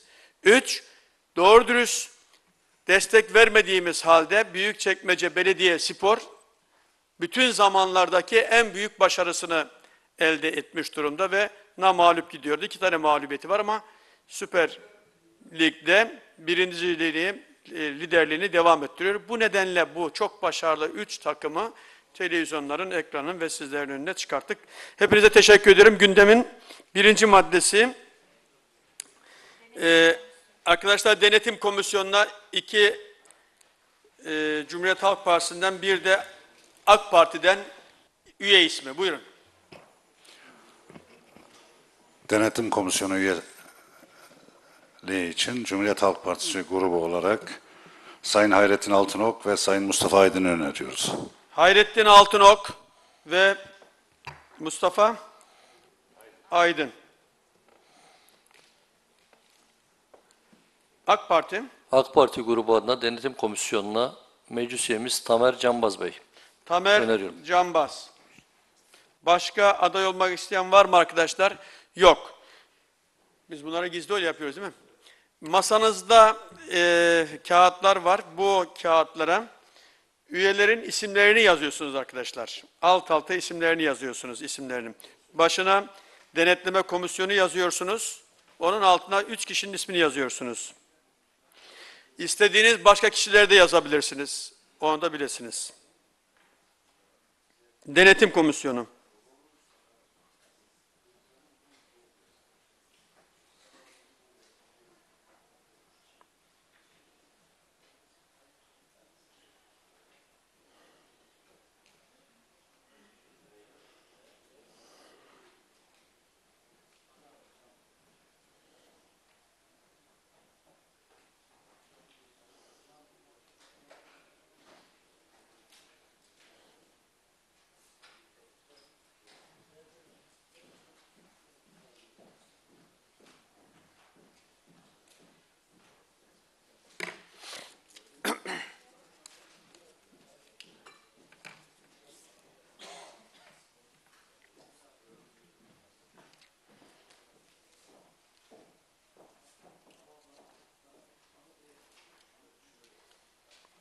Arkadaşlar gündemin ikinci maddesine geçiyorum. Denetim kurulu denetim denetim komisyonuna dışarıdan en çok iki kişinin çağrılması ihtiyaç duyulduğu takdirde ve ücretinin de ücretinin de kanunun belirlemiş olduğu en üst sınırdan verilmesi hususudur. Bunlar formalitenin yerine gelmesinden dolayı olduğu için oylarınıza sunuyorum. Kabul edenler, etmeyenler oy birliğiyle kabul edilmiştir. Gündemin üçüncü maddesi, değerli arkadaşlar mevcut belediyemizde sözleşmeli personel olarak çalışan personelin sözleşmesinin aynı şekilde daha önceki senede olduğu gibi e, tekrarlanması 2018 bütçe yılında tekrarlanması hususudur. Oylarınıza sunuyorum kabul edenler, etmeyenler oy birliğiyle kabul edilmiştir. Gündemin dördüncü maddesi, geçici yevmeli personelin sözleşmelerinin kaç kişi? Yedi kişi. Bunların da sözleşmelerinin aynı şekilde 2018'de uzatılması hususunu oylarına sunuyorum. Kabul edenler, etmeyenler oy birliğiyle kabul edilmiştir. Gündemin beşinci maddesi, mevsimlik işçi olarak çalışan 50 kişinin kadrosunun aynen devam ettirilmesi. Oylarınıza sunuyorum. Kabul edenler, etmeyenler oy birliğiyle kabul edilmiştir. Buyurun tabii. Bu geçici yevmiyeli işçi, mevsimlik işçi ve taşeron Gir, sözleşmeleri... girmiyor. Ayrı. Evet. Ayrı konu. Onlar belediye, onlar zaten kadrolu bizde. Şimdi açıklayacağım biraz sonra. Girmiyor. Anladım. Bunlarla ilgili bir açıklama yapacak mısınız? Anladım tamam, zaten, Tamam o zaman. E, Perşembe günü Ankara'ya çağırdılar zaten gidiyoruz. E, altıncı madde e, sendikayla personel arasında sözleşme yapma, sosyal denge sözleşmesi yapması için başkanlık makamına yetki verilmesi hususudur. Bu da formalitenin tamamlanmasıdır. Oylarınıza sunuyorum. Kabul edenler, etmeyenler oy birliğiyle kabul edilmiştir. Yedinci madde Büyükşehir e, Ağustos ayında tatil yaptığından dolayı tatilin Ağustos ayında olmasını veya herhangi bir değişiklik olması halinde büyük şehrin yapacağı, alacağı karar doğru karar hangi ayı kapsıyorsa o ay içerisinde Büyükçekmece Belediye Meclisi'nin tatile girmesi hususunu oylarınıza sunuyorum kabul edenler. Oy birliğiyle kabul edilmiştir.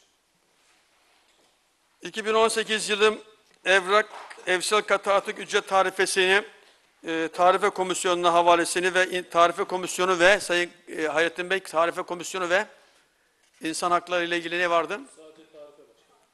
Peki tarife komisyonuna havalesini oylarınıza sunuyorum kabul edenler, etmeyenler oy birliğiyle kabul edilmiştir.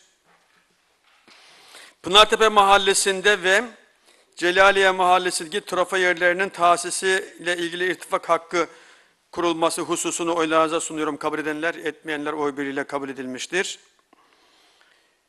Plan ve Proje Müdürlüğü'nü Plan ve Proje Müdürlüğü'nü geçen sene kaldırdık. Bu sene tekrar kuruyoruz arkadaşlar. Çünkü Plan ve Proje Müdürlüğü'nü Harita ve Planlama Müdürlüğü Türkiye çapında, Türkiye çapında Plan Proje Müdürlüğü'nün adını Plan tamam da proje müdürlüğü olmaması lazım imar planları ile ilgili departmanlarda yapılan yap, e, çalışma yapan bürolarda plan ol, proje olmaması lazım dedik. Büyük e, biz bakanlığa e, daha doğrusu Türkiye Belediye Birliği'nde bunu konuştuk bugüne kadar. Bir değişiklik olmayacağını anladık. Tekrar planlarımızın yapılmasından sorumlu müdürlüğün adının tekrar plan ve proje müdürlüğü olarak uygulanması durumunda kaldık. Ee, o nedenle şunu sorabilirsiniz, başkanım daha önce biz bunu kaldırmıştık, niye kaldırdık? Plan ve harita, harita ve plan müdürlüğü yapamadığımız için kaldırdık Türkiye çapında. Dolayısıyla plan ve proje müdürlüğünün kurulmasını hususunu oylarınıza sunuyorum, kabul edenler. Etmeyenler oy birliğiyle kabul edilmiştir. Tabii buyurun. Özellikle müdürler anlamında görevden alınan, göreve yeni atanan müdürlerle ilgili burada hem plan proje müdürlüğü kuruluyor hem de bir adet müdür ihtiyası var sanırım burada aynı Tabii, şekilde. tabii. Bununla ilgili İstanbul Büyükşehir Belediyesi'ndeki uygulamamızın aynısını burada da talep etmekteyim. Nedir? Bizden eğer ki müdürlükleri son bulunan arkadaşlar varsa bize başkanlık makamı bilgi verirse yeni atanan müdürlerle ilgili de Teşekkür bu bir ederim. eksiklik bir bilgi verirlerse biz de bilgi sahibi oluruz diyorum. Teşekkür ederim. Teşekkür ederim. Plan ve Proje Müdürlüğü'ne Sefa, daha önceki bizim Sefa arkadaşımız bir ara Beylikdüzü'ne kurucu gitmişti. Ee, Etüt Proje Müdürlüğü'ne de kim? Derya Hanım atanmıştır. Onu da bilgilerinize sunmak sunmam gerekiyordu. Şimdi sunmuş olduk. 11. maddeyi geçtik. 11. maddeyi oyladık. Ee, bir imar plan tadilatı var. Nedir e, bu Nuraydın Bey? Sayın Başkanım bir vatandaşın teklifi blok nizam imarlı olan bir yerde bloklar ayrı bir araya getirip tek blok halinde. İmar Komisyonu'na havalesini oylarınıza sunuyorum. Kabul edenler, etmeyenler oy birliğiyle kabul edilmiştir. Bir sonraki maddem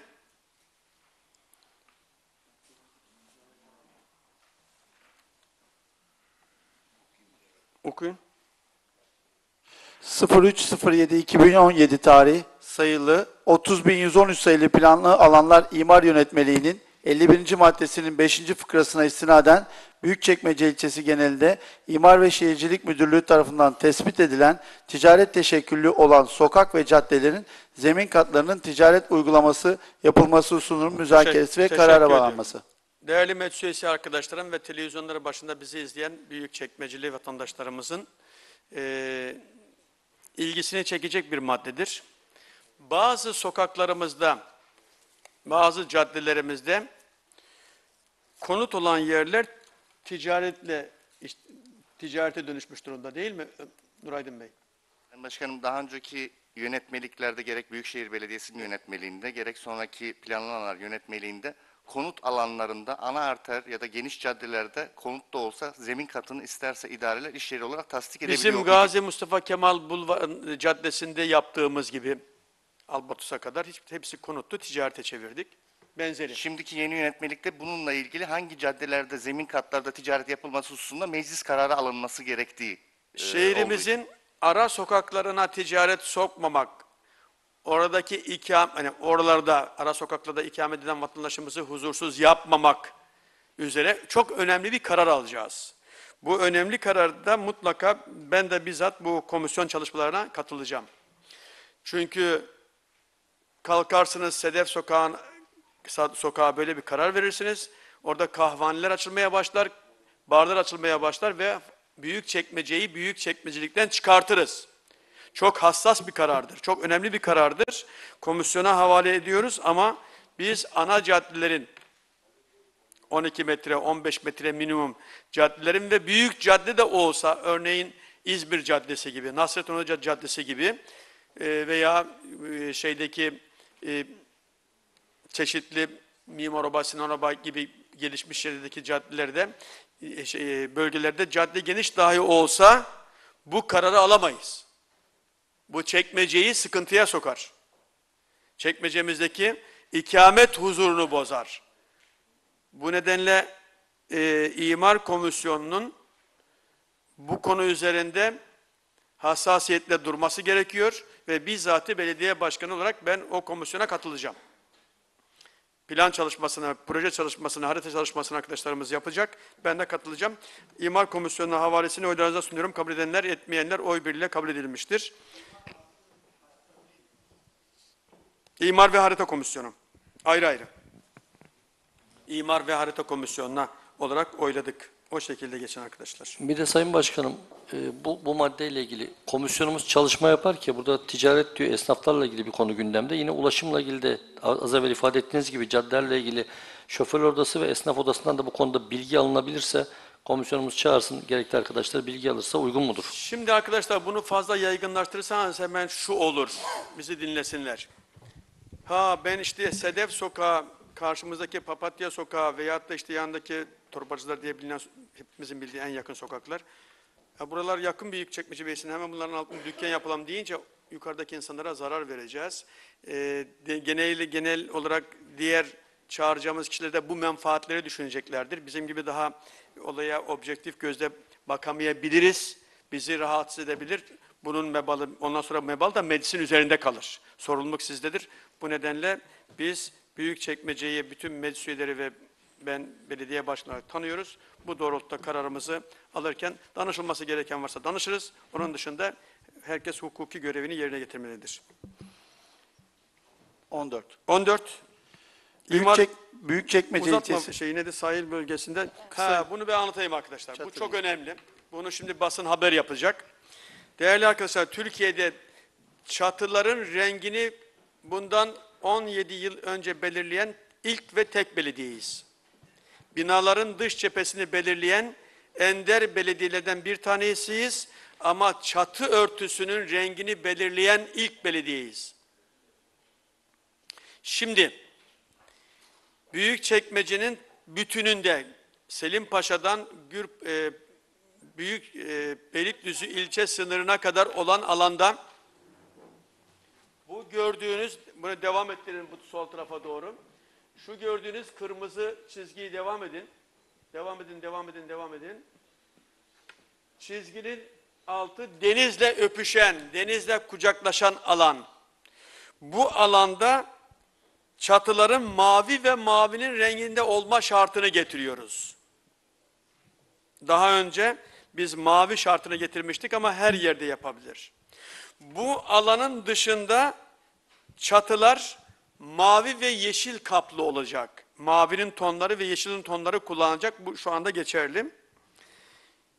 Artı bir de su toplama havzasında, göl havzasında tamamı villadan oluştuğundan dolayı, bir ve iki katlı binadan oluştuğundan dolayı, burada üretilecek olan projelerin dış cephe yapısına göre buradaki binaların çatı örtüsünü bu villa kentleri yapan teknik heyetle bizim estetik komisyonu çalışarak nihai kararı estetik komisyonu vermek üzere bir başka karar alınacak.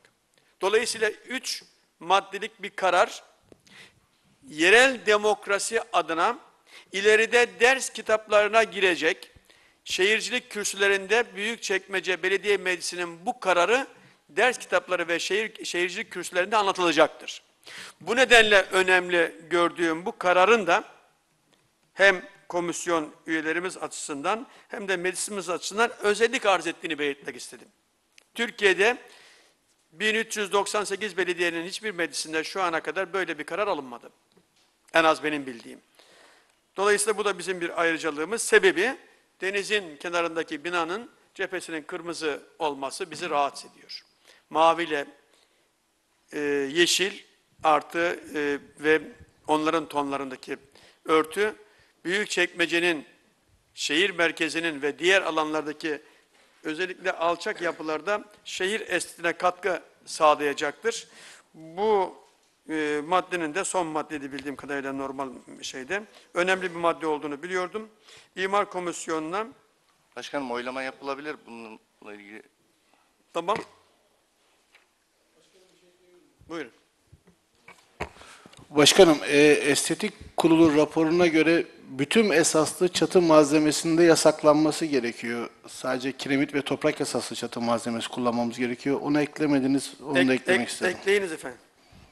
Toprak esaslı Toprak esaslı veya plastik kiremit kullanamıyor yani. plastik kullanılmıyor. bütün esaslı kullanılmıyor O başkanım. zaman onu ekliyorsunuz. Onu ekliyorsunuz. Bir de bir de e, konutların dış cephesini şu alüminyum ne diyorsunuz siz ona bir şey kaplıyorsunuz? Kompozit, kompozit Ha, başkanım. binaların dış cephesinde iş yerleri hariç, fabrikalar hariç kompozitte yasaklıyorsunuz. O var komisyon raporunda başkanım. Peki arkadaşlar biraz bu anlattığımı direkt oylayabiliriz çünkü bunun dışında herhangi bir e, çalışma olmayacaktır. Oylarınıza sunuyorum biraz önce açıklamış olduğum çatı örtüleriyle ilgili estetik komisyonu ilgili e, 14. maddemizin kabulünü oylarınıza sunuyorum. Kabul edenler etmeyenler oy bile kabul edilmiştir. Zaten baştan kabul dedik bir kere. Peki. Gündem. Ek gündem bir. Özet. Ee, Destek Hizmetleri Müdürlüğü'nün e, kamyon ihtiyacı için 5 milyon TL faiz artırım komisyon olarak borçlanması. Denetim komisyonu duyurun. Yapılan seçim sonucu denetim komisyonu üyeliklerine 19 oyla Mustafa Aydın ve 16'şar oyla Hayrettin Altınok ve Tamer Canbaz seçilmişlerdir. Arz edelim. 16'şar oyla. Peki. Ee, Gündemimizin son maddesi değil mi o? Ek bir, bir tane daha var başkanım. Ek Peki. var. Buyurun. Hayırlı olsun arkadaşlar komisyon üyelerim. Destek Hizmetleri Müdürlüğü'nün talebi üzerine 5000 TL kredi artı faiz e, olarak kredi kullanılması. Ee, muhalefetin bu tip şeyler dikkatine çeker. Bu konular üzerinde fazla konuşulur. Ama fazla da konuşmaya gerek bırakmadan arkadaşlar bu işi hızlıca bitirelim. Büyükçekmece Belediyesi'nin Destek Hizmetleri Müdürlüğü e, garajında bulunan kamyonlarımız artık yürümüyor. Yaptığımız e, incelemede, bana bu konuda bilgi sundular. Yaptığımız incelemede kamyonlar mutlaka yenilenmelidir. Dışarıdan kamyon alıyoruz fakat kamyon devamlı çalışmıyor. Çalışmadığı zaman da para veriyorsunuz. Makine olsa makineyi çalıştıracağımız zaman kiralarız. Ama kamyon bir bakıyorsunuz bir de moloz dökmüşler. Bir yerden bir vatandaşın e, işte hafriyatından e, çıkmış malzemenin e, bize yarayan kısmını alacaksınız. Yani humuslu toprağı alacaksınız. Velhasıl kamyonun kiralanmasını rentable, e, ekonomik bulmadığımızdan dolayı devlet malzeme ofisinden 7 ile 10 arasında muhtemelen 10 tane olacak. 10 tane muhtemelen de Mercedes marka olacak. E, damperli kamyon almak için bu sıcak parayı kullanmak istiyoruz. Ancak e, eğer belediyenin ekonomik imkanı yeterli olursa, kafamızda bir iki proje var, yeterli olursa aldığımız bu kararı da uygulamayacağız. Borca borç, borcun üzerine borç katmayacağız. Bu nedenle ben de muhalefet gibi borçlanmaya karşı olan birisiyim. Ama biraz daha önce size söyledim, belediyeler Türkiye'de can çekişiyor. Perşembe günü saat Ondan itibaren Türkiye Belediyeler Birliği'ne bizi yönetime çağırdılar. Taşeron yasasıyla ilgili uygulamanın net olarak belediyelere duyurulmasını sağlayan bir bildiri yayınlayacağız. Önce bu tartışılacak. Ondan sonra da 28 Mart 30 Mart'tan öncesine kadar Türkiye'deki belediyeleri çok yakından ilgilendiren belediye yasasıyla ilgili yeni çıkacak yasayla ilgili çalışmalarımız olacak. Daha önce de duyurduğumuz gibi muhtemelen büyük ihtimalle e, 30 tane daha büyük şehir belediyesi, bütün şehir belediyesi geliyor ama benim toplantılardaki izlenimim Türkiye'deki bütün şehirler büyük şehir oluyor. Bu 28 Mart'tan önce çıkma zorunluluğu var kanunun.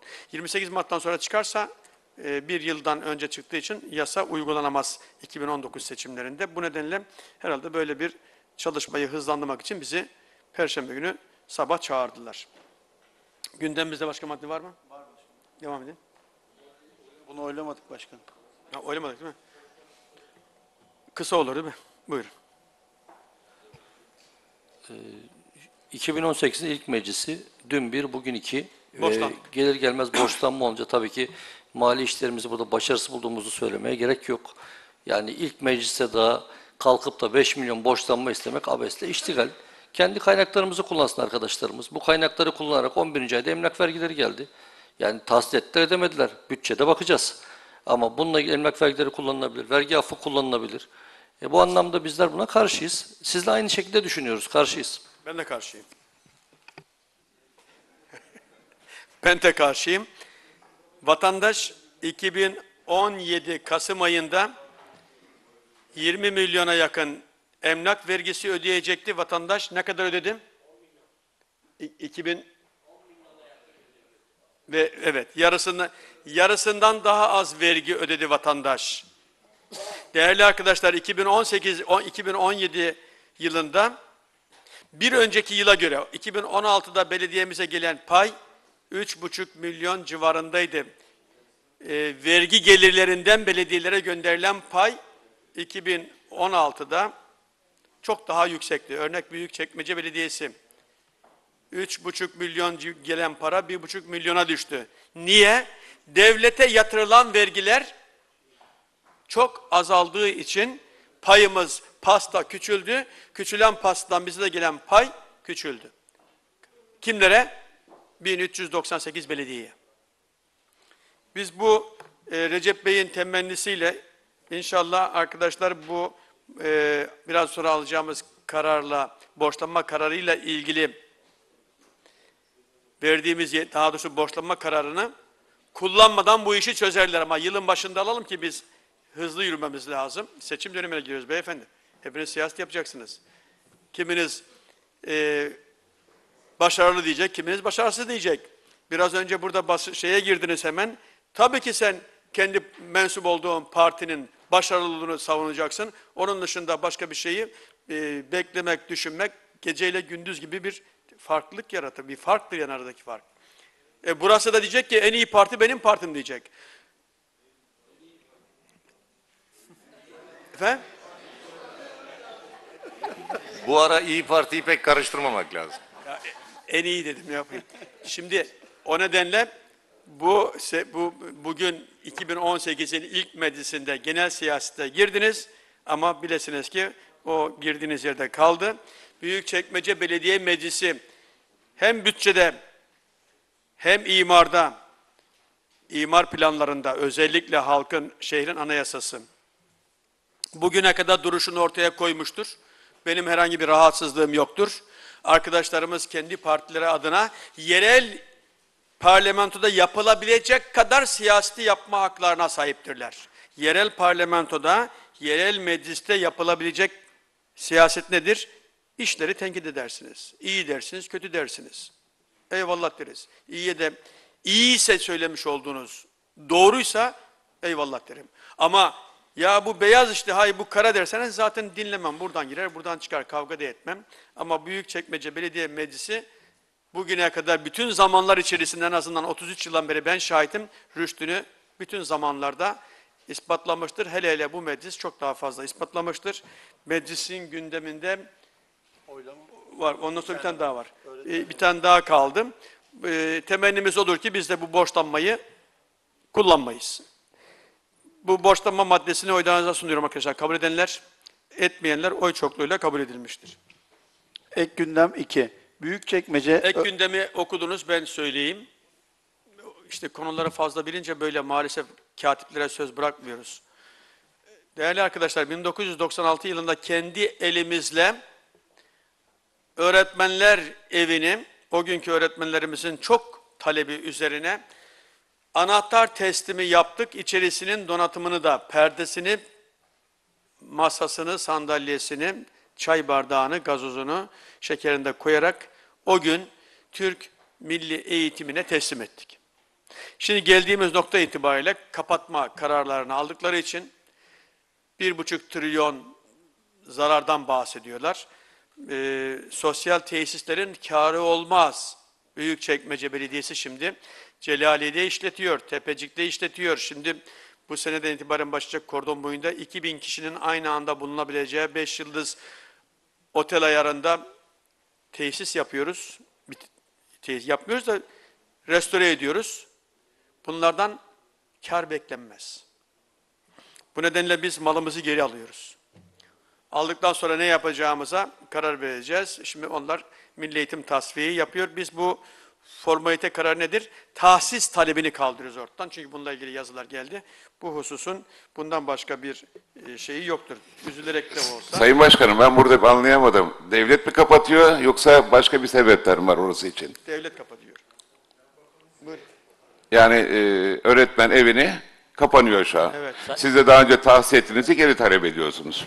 Evet. Say- Sayın Başkanım, değerli meclis üyeleri, Milli Eğitim Bakanlığı Öğretmenevi ve Akşam Sanat Okulu uygulama yönergesiyle ilimiz Büyükçekmece Öğretmenevi ve Akşam Sanat Okulu Müdürlüğü'nün zararda olduğu nedeniyle Milli Eğitim Bakanlığı Öğretmenevi'nin kapatılarak bu zarar olan kısım borçlarını diğer ilçelerin eee öğretmenevi ve akşam sanat okullarına devrediyor. Yani bakanlığın almış olduğu bir karar neticesinde öğretmenevi kapatılıyor. Biz, e, biz de belediye meclisi olarak sizler bu tahsisin iptalinin kararını Bir alıyorsunuz. dakika bu zararı diğer yerlerdeki yerlere Evet. ta- tahsil edecekler. Onlara aktarıyorlar. Evet, zararın da o borçların da onlar tarafından ödenmesini karşılayacaklarmış. Bunu daha fazla açmamıza gerek yok. Buyurun. Başkanım şimdi e, devletin kapandığını Sayın Ömer Bey söylüyor ki o da iletişimimizden kaynaklanıyor herhalde bizim ki bize bunu şu anda ifade edildi. Daha önceden bilsek ona göre bir karar verme yani Bize ek yeni- gündem olarak da geldi. Bize de yeni geldi canım. Evet. Bununla ilgili eğer e, uygun görürse grup başkan vekil arkadaşımız da bunu eğitim komisyonuna havale etsek arkadaşlarımız bir değerlendirsinler. Yani eğitime de tahsis edilebilir mi? Ya da farklı bir nokta değerlendirilebilir mi? Eğitim komisyonundaki kardeşlerimiz bir çalışsa bir dahaki meclis oylasak daha uygun olur diye Bir düşünüyoruz. dahaki mecliste oylayabiliriz, sakıncası yok ama e, öğretmen evi artık öğretmen evinden çıktı. Zaten e, o adanın tamamında öğretmen evinden, evlerinden vazgeçtiler. Artık öğretmen evi olarak kapatıldı. E, başka sorunlar da olduğunu düşünüyoruz. Onu birebir görüşürüz. E, Malzemeler şu, şu anda hepsi bitti. Ha üç gün sonra oylarım dersen üç gün sonra oylarız. Sakıncası yok. Kentsel dönüşüm o adanın tamamında kentsel dönüşüm yapacağımız için hem adliye binası hem o bina belediyeye ait olduğu için orada belediyenin de menfaatine gelişmeler olacaktır. Ama binayı bir müddet kullanacaksak hangi amaçla kullanacağımızı da oturup tabii ki karar vereceğiz. Bir sonraki mecliste görüşelim. Hiçbir sakıncası yok.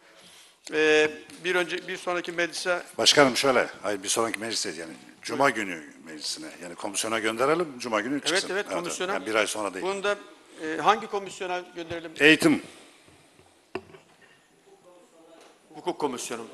eğitim ve hukuk müşterek olsun başkanım. Yani eğitim komisyonunda en az da bilgi Eğitim ve Hukuk Komisyonu'na havalesini oylarına sunuyorum. Kabul edenler, etmeyenler oy birliğiyle Teşekkürler. kabul edilmiştir. Gündemde başka bir şey var mı?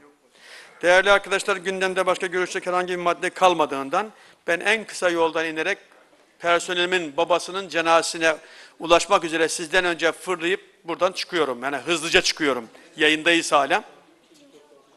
İkinci toplantı Perşembe günü, e, Cuma günü saat 10 grup başkan arkadaşlarım. Cuma günü saat 11'de herhangi bir e, davetiye çıkartılmadan Büyükçekmece Belediyesi Meclis Salonu'nda toplanmak üzere meclisimizin 2018 o- 11 11 11 Belediye Meclisimizin 2018 Ocak ayı birinci toplantısının birinci oturumunu kapatıyorum.